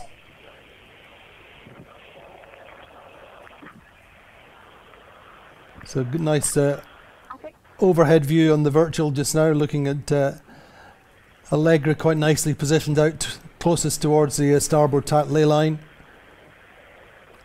Sled, uh, sled's position solid just now, but uh, Yeah, well, that's that's the challenge, right? If you're a sled and you're not on lay line here, then if you wait long enough and you aren't crossing Quantum or you aren't crossing Alegre and you let these boats to leeward of you tack and get over to that right lay line, then there might not be space for you. So if, if you're in sled's position, you're looking over your shoulder going, When are we go? going to cross Quantum?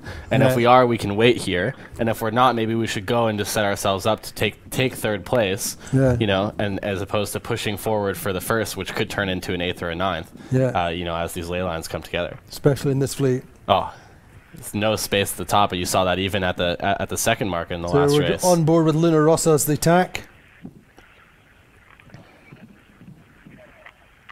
You know, I think Luna Rossa might be struggling a bit with their boat speed as well. Yeah. We were talking earlier about how their main trim looks better than Onda's, but in fact, they didn't actually ever pull away from Onda. I almost think Onda ended up looking better out of that two boat test. And then just now, we saw them sort of do the lee stern here to Azzurra and Provezza, but even then, they were sailing a much wider angle than Azzurra. And granted, because they'd sort of put themselves in a bad position. We uh, did, we did wonder about them coming off the line like that, you know. They seemed to be quite bow down off the line, whether that was just dragging out to the left early or whether they just didn't have the height. Yeah, I mean, I think it's going to be hard getting used to having not raced that first race, so you don't have those two upwinds. So getting used to for the trimmers and the driver just the waves and the conditions here. Yes, they had the practice race yesterday, but it's a whole new day, and the rest of the eight Yeah, boats the have been yesterday was 12 to 15. Yeah. Yeah, that's a good point. Yesterday was a Very much different different condition. So there's sled crossing quantum, so they obviously you know made the right decision to wait. Uh, you know, crossing ahead and and little bit of you know less risk for them. They're probably going to see a duck on Alegre unless they think they're on lay line, in which case they'll leave out. Here they go. Just going to leave out. So they must be they must think they're on lay line because that's a risky call if they're not. Um, and so it's going to be really interesting to see how these the rest of these boats line up. If uh, if Azzurra and can fit through there and Quantum can cross these starboard Exactly. boats, then it's going to be you know a bit of a more simple picture. But it's definitely going to be a fight over there. That's right. Quantum need to control this group, don't they? If you have a really long starboard tack left to go and a very short port tack to the lay line, you always prefer the leave out. You'd always think, if I can just hurt them a little bit, then they'll tack off. Then I tack again, and I have the leave out again. But if I go for the big duck, I'm giving I'm giving away distance to boat length, and I'm definitely giving them the lead. So I think, yeah, we have a, a much longer starboard tack here, only a very short port tack. The sled did they did just that. They leave out.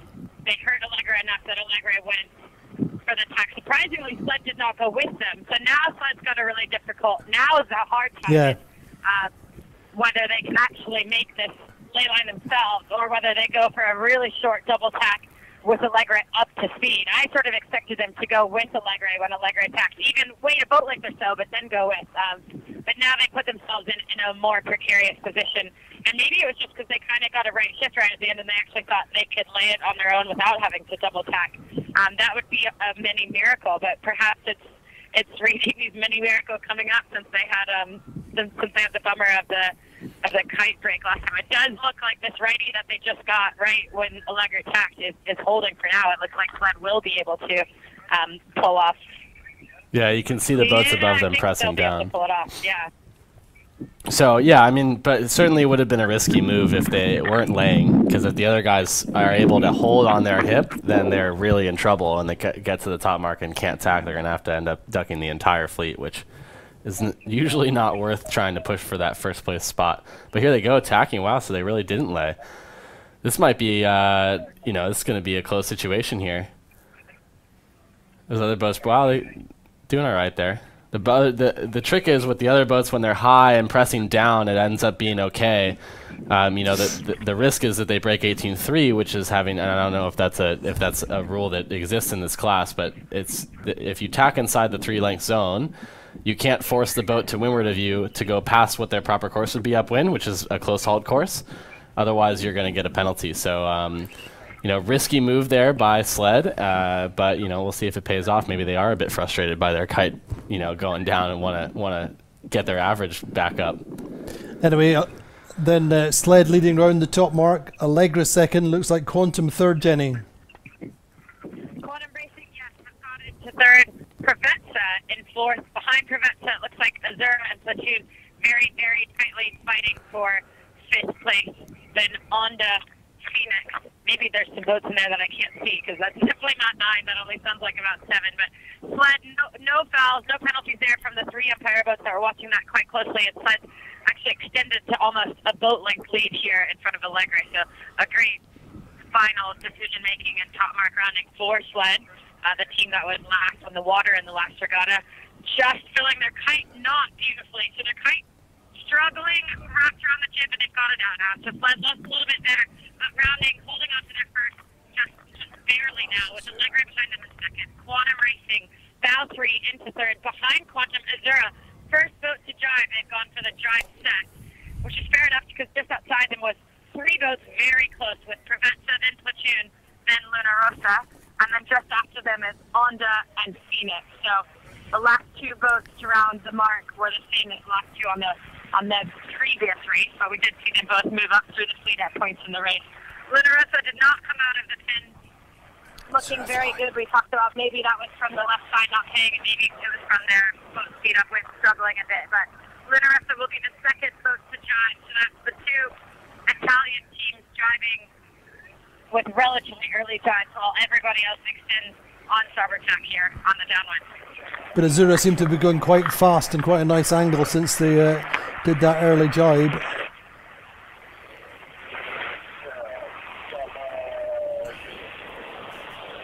Yeah, definitely. Last race how much you can pay to, to separate from the fleet. Platoon did that. They went from a seventh or eighth to second on the or to third on that first downwind. So maybe Azzurra trying to move up through the pack even more here.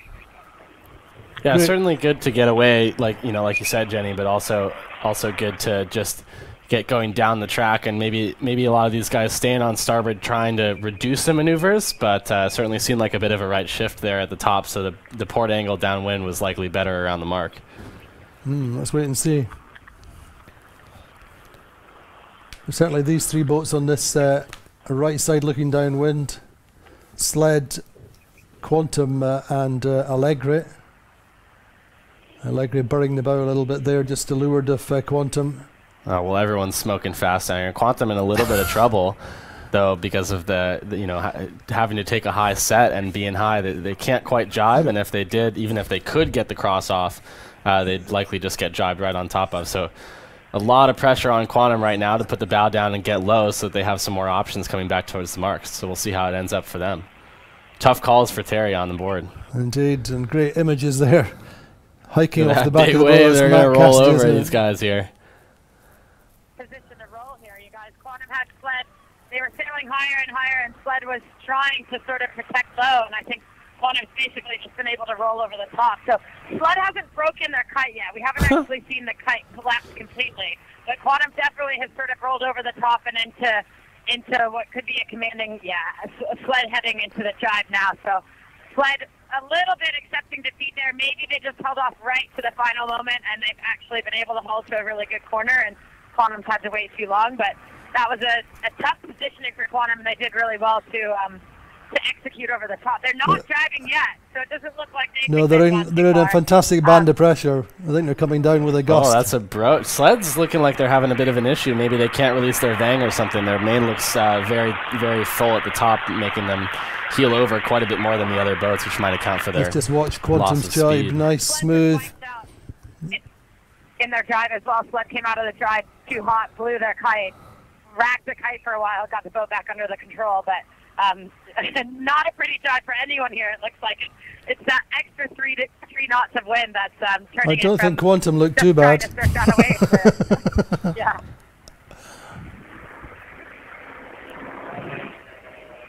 Well, like we said in the last race, you know, you basically can't turn too slow and fill the kite too far downwind in these boats in this this much breeze. You're Yeah. basically basically killing speed through the jibes intentionally to keep the bow from plowing as you get the kite filled, and then have everybody rush towards the back to get the boat planing again.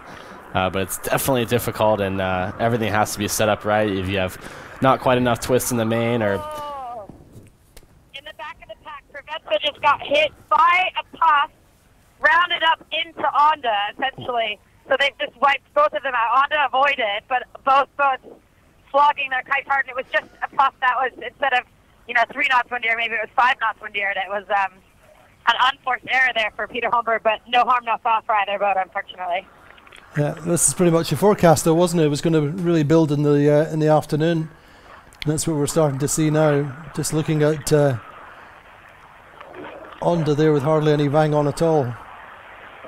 Yeah, well, the boat's definitely just trying to burn power right now, and they they want to go down the track and have as little speed as they, you know, as little heel as they can. Uh, you know, and maybe boats like Onda Provezza are going to be, you know, p- potentially overlaying, and an overlay in downwind and this much breeze uh, to leeward marks is a, is is really difficult to do. A hot drop uh, at the end and a lot of pressure is is, is you know. Look at that. Fantastic images of uh, quantum racing then underwater. and we were saying this is where the uh, the pro driver certainly Yeah, well, even quantum, you know, it's sailing Yeah. sailing pretty high here. It looks like to us on the TV. I don't know what you're seeing out there, Genny, but uh, it looks like they're pretty hot angle, a lot of heel, and Bow's really put, punching through the waves, and uh, maybe a little bit of a compromised situation for them. Yeah. And not necessarily compromising situations here, but it is just you can be caught off guard much more easily uh, with, with anything behind it. You maybe don't have a spotter for one second because everyone's coming out of the drive doing their individual tasks and the puck hit at that moment. I think we've seen that happen now twice, both to Sled and to Provezza.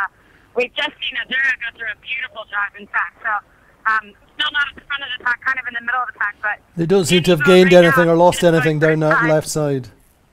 Looks like Provezza might have some issues on board. Yeah, they're dropping their kite now. That's Phoenix. No, that's Oh, Provezza.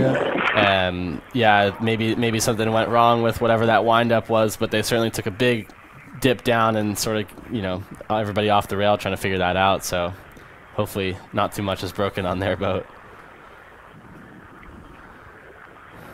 But crazy racing, good, amazing racing out here. Awesome. I mean, this is making me That's jealous of being the, of the sailors sitting here in the studio. I wish I was out on my That's kiteboard or something. That's what we're here for. But, Quantum with a big gain. and Sled's certainly not out of it, having uh, had that small problem at the top of the uh, top of the run. Neck and neck with Quantum coming into this uh, leeward gate along with Alegre.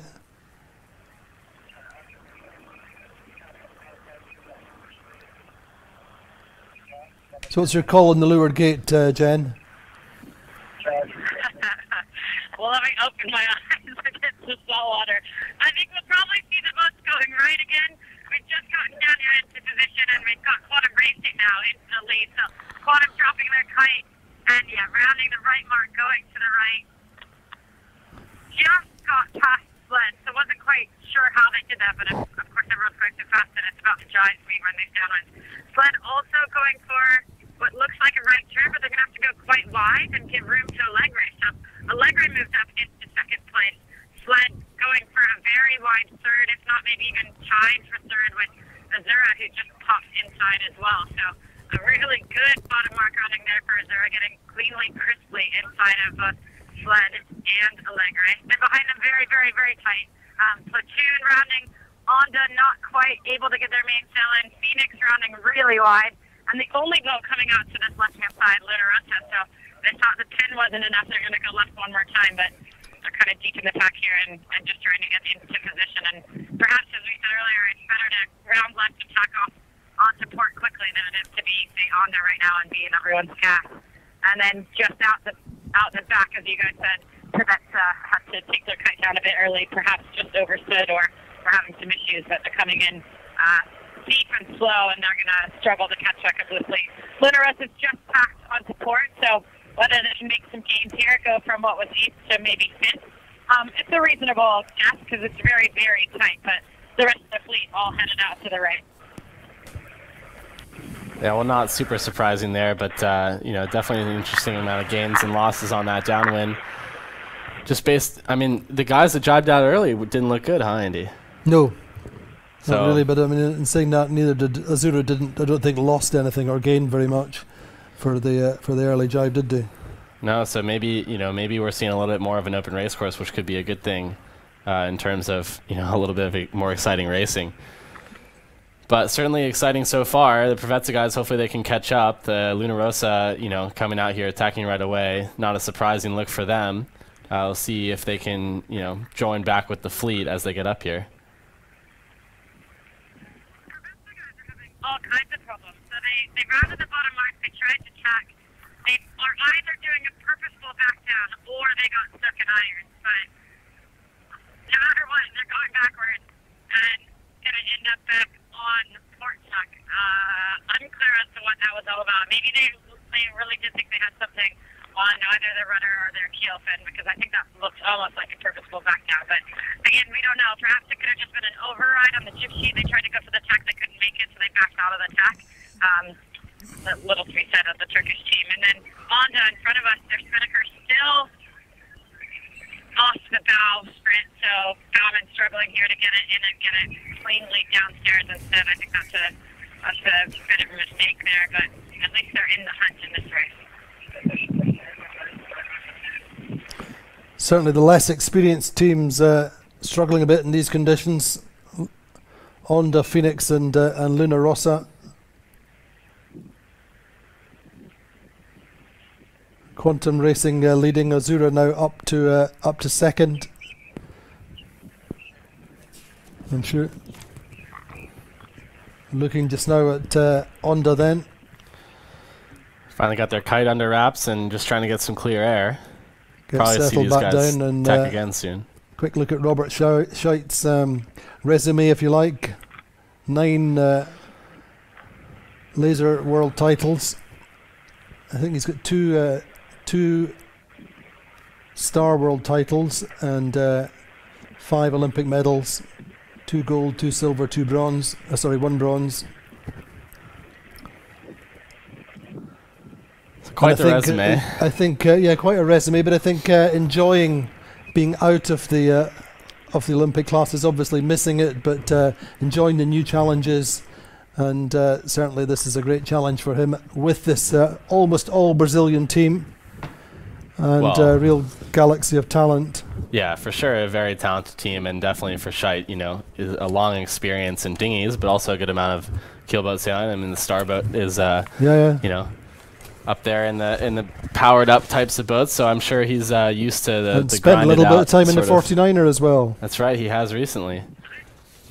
I saw him in the boat park this morning. He was like petting someone's 49er, and it was just a kid. well, a kid. I, was like, got 49er. You know, it was not beautifully expertly rigged or anything, but we had a chat about his, his one year after the five medals where he kind of set up fuel distill lasers, and instead of saying, so I won't tell anything at all, he went, so I'll give this 49er instead. Like my quads need a break, but I'm not. I'm not an old man in any way. And he said he did everything that he wanted to do in that class. You know, he said he got to sail a high performance boat for a year. It was it was difficult, whatnot, but he just loves racing. Like it's in his bones. To see him, he loves obviously the sport of sailing. Particularly, I think he's a really good biker as well. He lives in like Garden goes biking, but to see him just kind of staring And, at some uh, boat in a boat park on a day when he's got to racing was cool. Absolutely, he swim. He swims every day. He's uh, he's pretty fit. You know, we saw him several times at the end of the day in uh, in uh, Zadar. Everybody else would be ready to be having a beer or uh, a little bit of a sundowner and a debrief or whatever, and Robert would be off uh, for 15, 20 minutes swimming. He does that every morning when he can. He's in pretty good shape. So Quantum Racing really stepping away from the uh, the chasing pack. Azzurra, I think, uh, in control of the uh, next couple of boats. So looking pretty decent for Azzurra for the uh, for the day. We're on the second beat of race number two at the Rolex TP52 World Championship. Azzurra won the first race, lying second just now. They've got a little bit of uh, action on their hands with uh, Alegre and Sled. Yeah, but definitely in a good spot, and you see them, you know, sort of marching along. They've definitely, they've actually made a gain uh, according to you know virtual because they rounded the bottom mark in fourth. Yeah.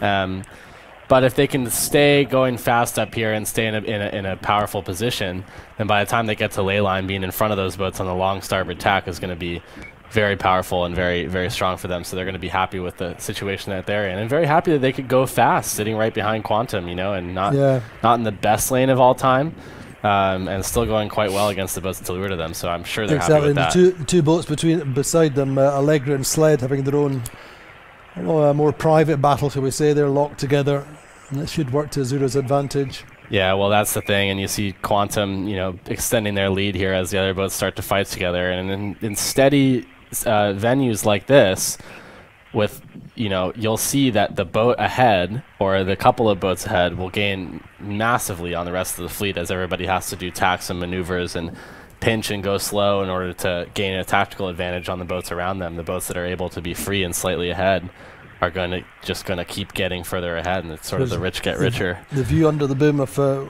Luna Rossa, just Yeah. closing, I think, with um, Not sure they're crossing here. Probably going to see a lee bow. Here they go. Jimmy Spithill first down on the runners. And indeed, Lee Bow uh, on platoon. So platoon gonna attack out. Yeah, there they go, attacking out here. So it's you know platoon probably happy with that, and uh, you know I'm not exactly sure what's going on in their boat, but they're probably okay to send Luna Rossa towards the left side and gain the right side advantage and gain leverage towards that end that they know or they're confident that they're going to get a, a, a shift in their favor and should be about a boat length game for platoon at the top.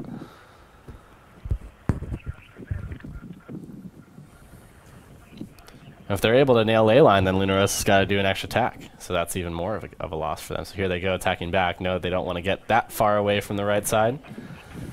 So uh, good good tactical move on platoon there.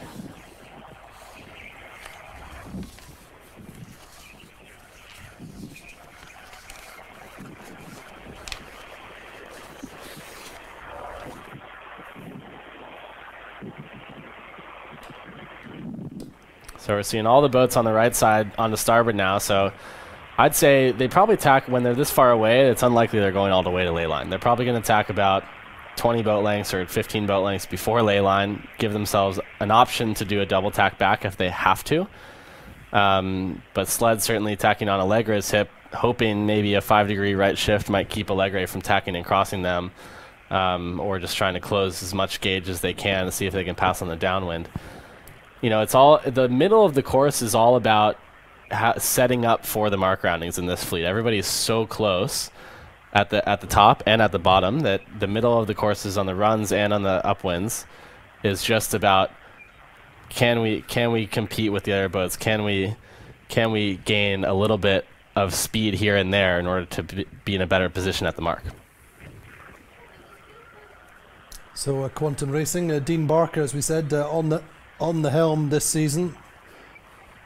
Another sailor with a huge, uh, huge CV. Never been to the Olympics, but uh, went through the dinghy classes. Was very, very successful in the laser early on, and in fact, uh, I think he's gone to the Olympics and he, he, just, he didn't medal at the Olympics, but he was a 10 sailor, maybe got ninth or something like that in the 2000 games.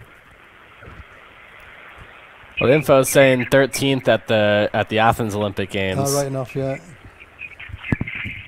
But his uh, his rivalry with uh, with Robert Scheidt goes back to the uh, ISAF Youth World Championships in uh, 1991 when they battled for the uh, Youth World title, and Dean came out on. Uh, Robert Scheidt, in fact, came out on top that year, and the ISAF Worlds, as you were saying, just starting just now, uh, Nick. That's right, they are uh, down in uh, Corpus Christi. Good old home venue for me. Well, sort of. United States. But anyways, Dean, you know, great, great match racer, and certainly a fast, fast sailor with tons of experience. So you know, he's going to be very, very strong uh, in these sort of tight battle situations where the boat handling is going to be very important. Um, and he's got a lot of experience doing, uh, you know, difficult maneuvers like that, and a lot of experience reading what the other boats are about to do and what and what they might, you know, how they might come out of tacks or jibes or, you know, what their other tacticians are thinking about doing. is going to be going to be very strong in that area. So, you know, if the guys on board can make the boat go fast, then Dean's going to be able to put it in the right position, and it's going to be a very difficult team to beat in this venue.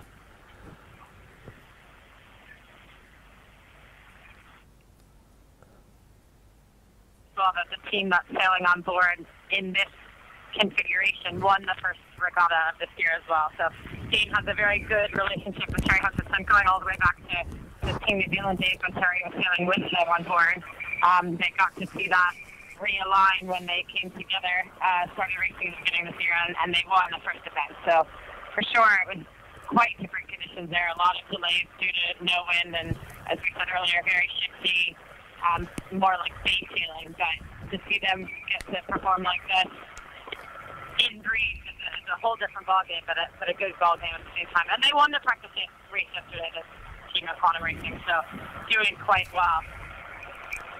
Yeah, well, you know. Has backed off, going for the duck here with Platoon, so Azzurra thinks there's still enough time to get right to maybe make some gains.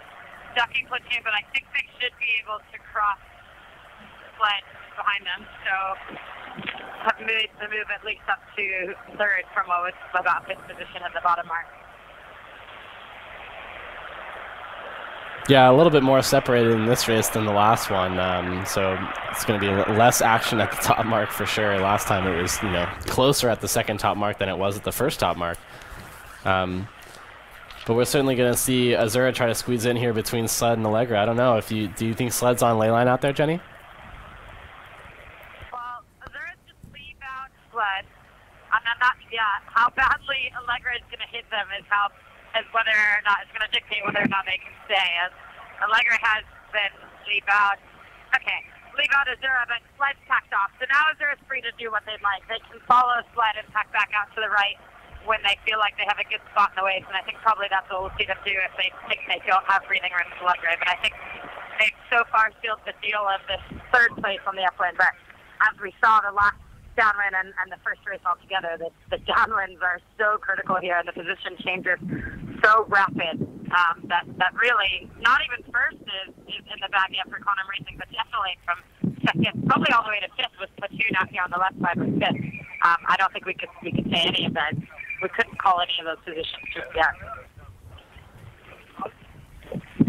Yeah, it'll definitely be challenging. When we saw Platoon put 200 meters on the fleet twice in two separate downwinds, so Yeah. we'll see if they can make another gain like that this time. They weren't able to do it in the first round of this race. uh, You know, bit breezier, so maybe all the other teams are are fat. You know, just as fast. Now all the boats are planing, but uh, we'll see.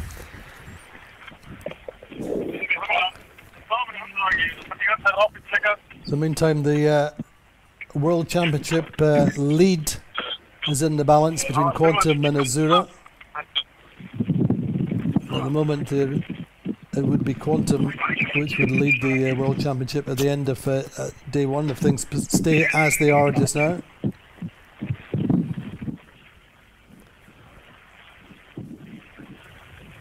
Alegre having a pretty solid day, all in all.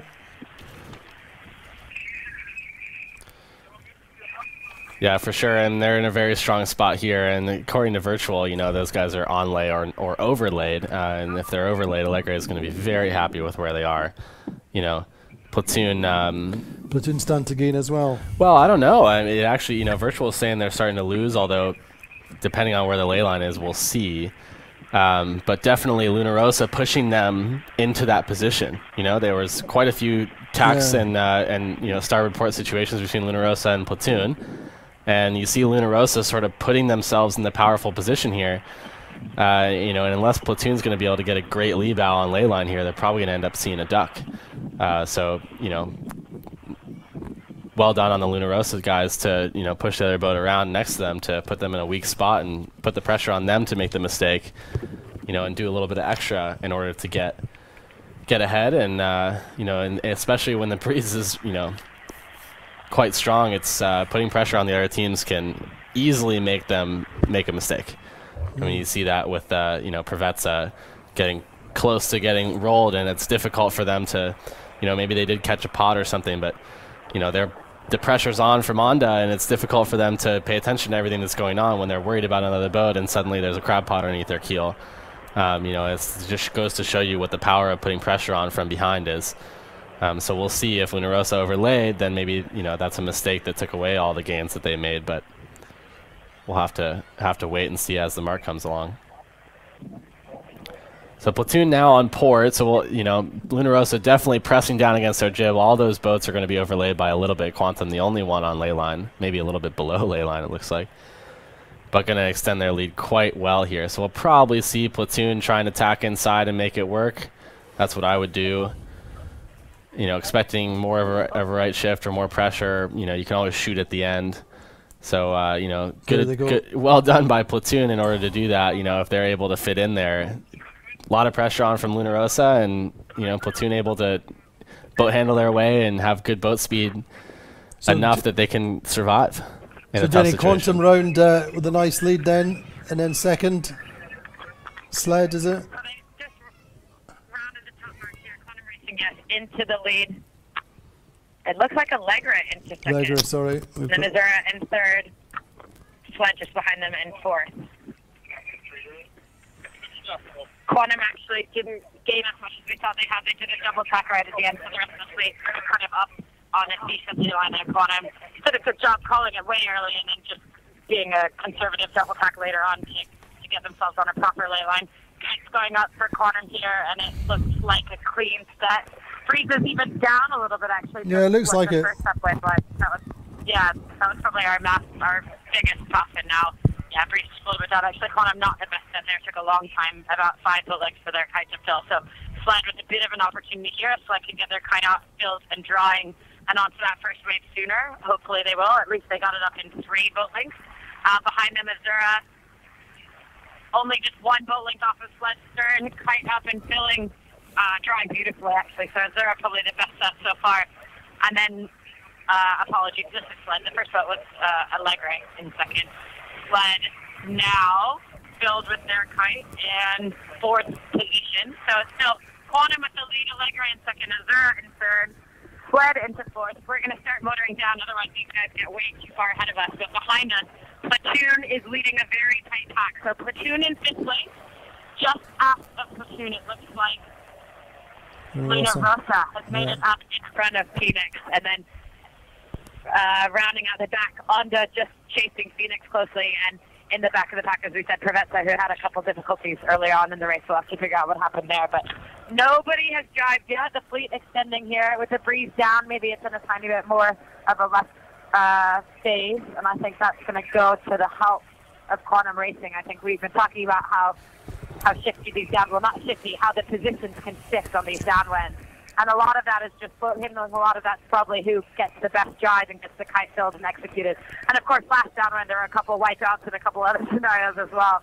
Um, at, at, least for sled, that's dropped them from first into fourth place. But let's see if sled can gain a couple more numbers here and go back more towards the front from their fourth. The first boat driving out near the back of the pack is Luna Rossa. So first to drive, I think, just trying to make any sort of gains that they can. Yeah, well, it certainly it seems like it's turned into a boat speed race, and probably just going to see everybody basically driving on ley line to the finish and trying to keep the boat planing as long as possible and soak as low as they can while still still having the plane on. So, big boat speed race here, and a nice separation between the the front and the back pack. So we'll see. Uh, you know, we'll see if platoon can close the gap uh, between them and sled, and see if Luna Rossa can pass them. That's you know. Platoon are going well though, aren't they?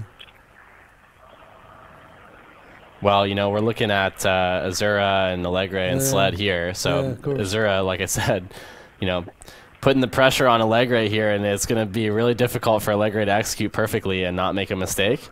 Um, so if there's going to be any action on this downwind, it's probably going to be between these two boats. And you know, if Alegre not able to, to execute perfectly, we might see another problem on on the boat.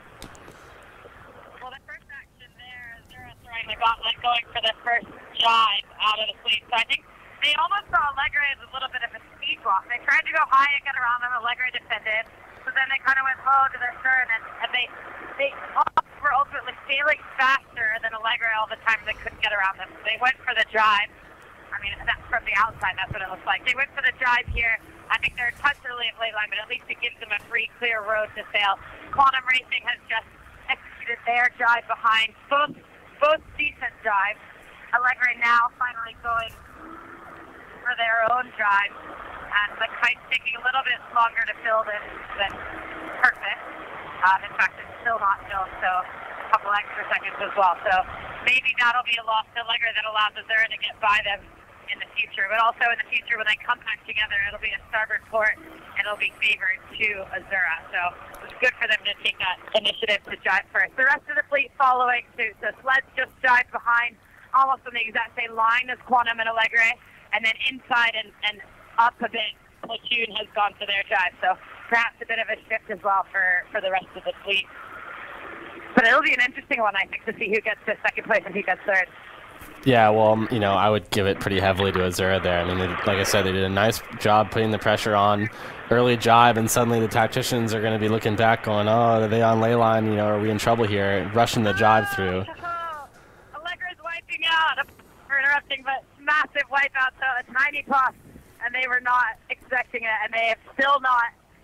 They're kind of still flogging. They're still on their side, so.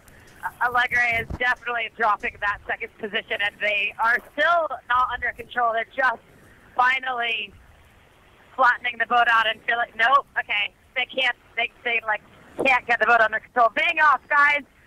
Okay, now the boat is flat. in the Vangazis, they're gonna refill it. So they kind of, they sort of tried to refill the kite while they were still not in control of the boat. So the boat was still on its side a little bit, and they went to retrim, and they just wiped themselves out a second time, even though the big truck wasn't there anymore. So they've dropped from what was second to fourth. To third, yeah. and I think probably they've been, yeah, they've been certainly lost sled in that. Uh, well, and now platoon, you know, motoring away towards them. So if any more problem happens, then platoon's going to pass them as well.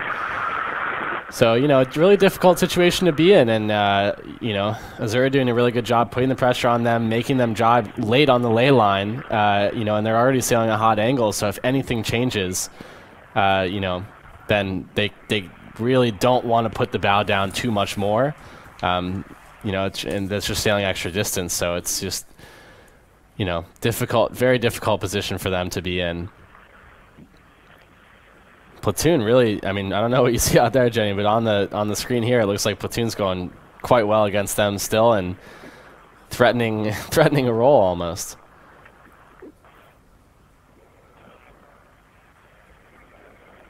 So and then the the other question back in the you know as you go back towards the rest of the fleet is the Luna Rossa Phoenix. You know Luna Rossa with the early jibe means they have to do an extra maneuver, uh, which is quite slow in this. So you know we'll see if they can. Um, stay ahead of Phoenix, which rounded pretty close behind them. You know, it's all a speed game here, and then you, you're giving away five boat lengths by doing an extra jibe. So you got to make that up somewhere else. If it's uh, in boat speed, that's fine. If it's in a shift, that's fine. Uh, but it's got to come from somewhere.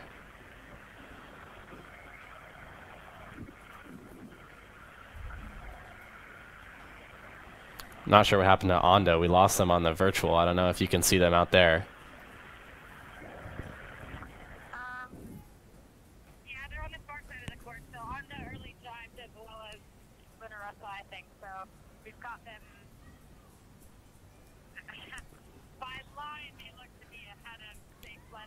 In, but of course they haven't come this distance down towards us, so I'm sure they're still behind.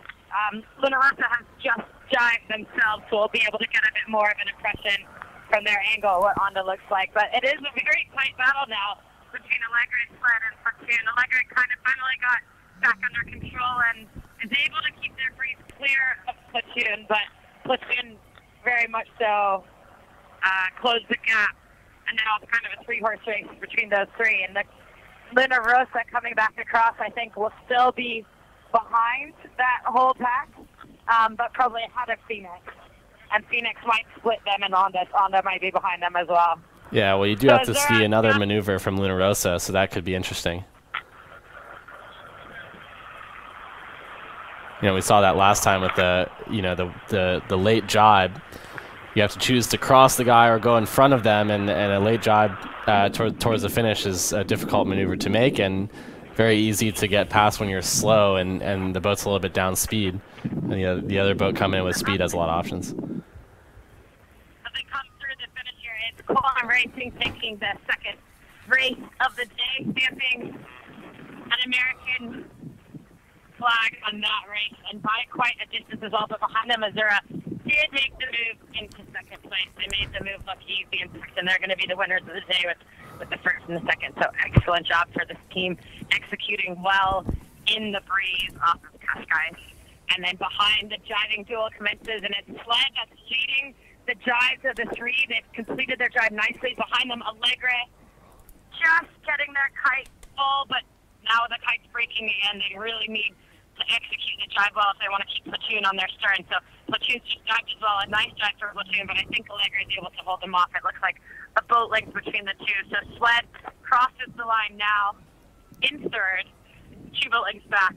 Alegre is going to be taking this fourth position and another length and a half back. Probably Platoon at fifth, but on the inside here, Luna Rossa ripping in, and if they don't have to jive, they might just Platoon right at the finish, and they're going deep for it. But whether or not they can make it without jiving, or Platoon's going to make it. Uh, Platoon crosses Luna Rossa crosses, I think. From the pin end, that's how I would call it, but from the boat end, they might have seen that differently. Might just They- be Luna Rossa. They, I, they said Luna Rossa. Right, okay, so here it looked like Platoon just got it and then Luna Rossa, but that, that is a very, very tight fight for what was fifth. Okay, and then behind them as well, a very, very close battle. Phoenix and Onda both driving at the finish. Phoenix just able not even to pull their Spinnaker through, but able just to cross in front of Onda there. And then just back behind us, you can see the Spinnaker's back up for Provezza. So whatever the issue was on the first downwind, they were able to sort it out by the second downwind, and they're they're sailing with a kite up. But yeah, they had they had a kite issue and then a back down that meant that they are going to be finishing in ninth for this race. So a very intense first day, um, first couple races here as well. And the breeze is kind of back down, but it's been it's been quite windy at points out here. I can definitely assert that everyone on this motorboat has has seen a fair share of our um, Atlantic Ocean over our bodies and our faces and our sunglasses. Um, and I'm not sure about the sailors. Probably much the same. It's, it's a beautiful day out here, though. No one's complaining. It's really nice, warm water and um, and beautiful breeze. And I think just as Provezza is crossing through, the breeze is kind of back up again to give them a couple final, uh, not surfs over these waves, but they are really, really skipping over the top of the waves. The red boat, all the crew back in the back of the boat. Now they're just kind of coming in together to get this kite down. But it's been a long race for these guys. Looking out the rear view, I'm mostly looking at the front of, of the tackle in front of them. Yeah, well, the one thing about the long race for the guys that uh, have a little bit of issues is that at least it's beautiful and 20 knots and probably pretty fun to rip downwind in these boats. So they're not going to be happy, but uh, at least it's fun out there.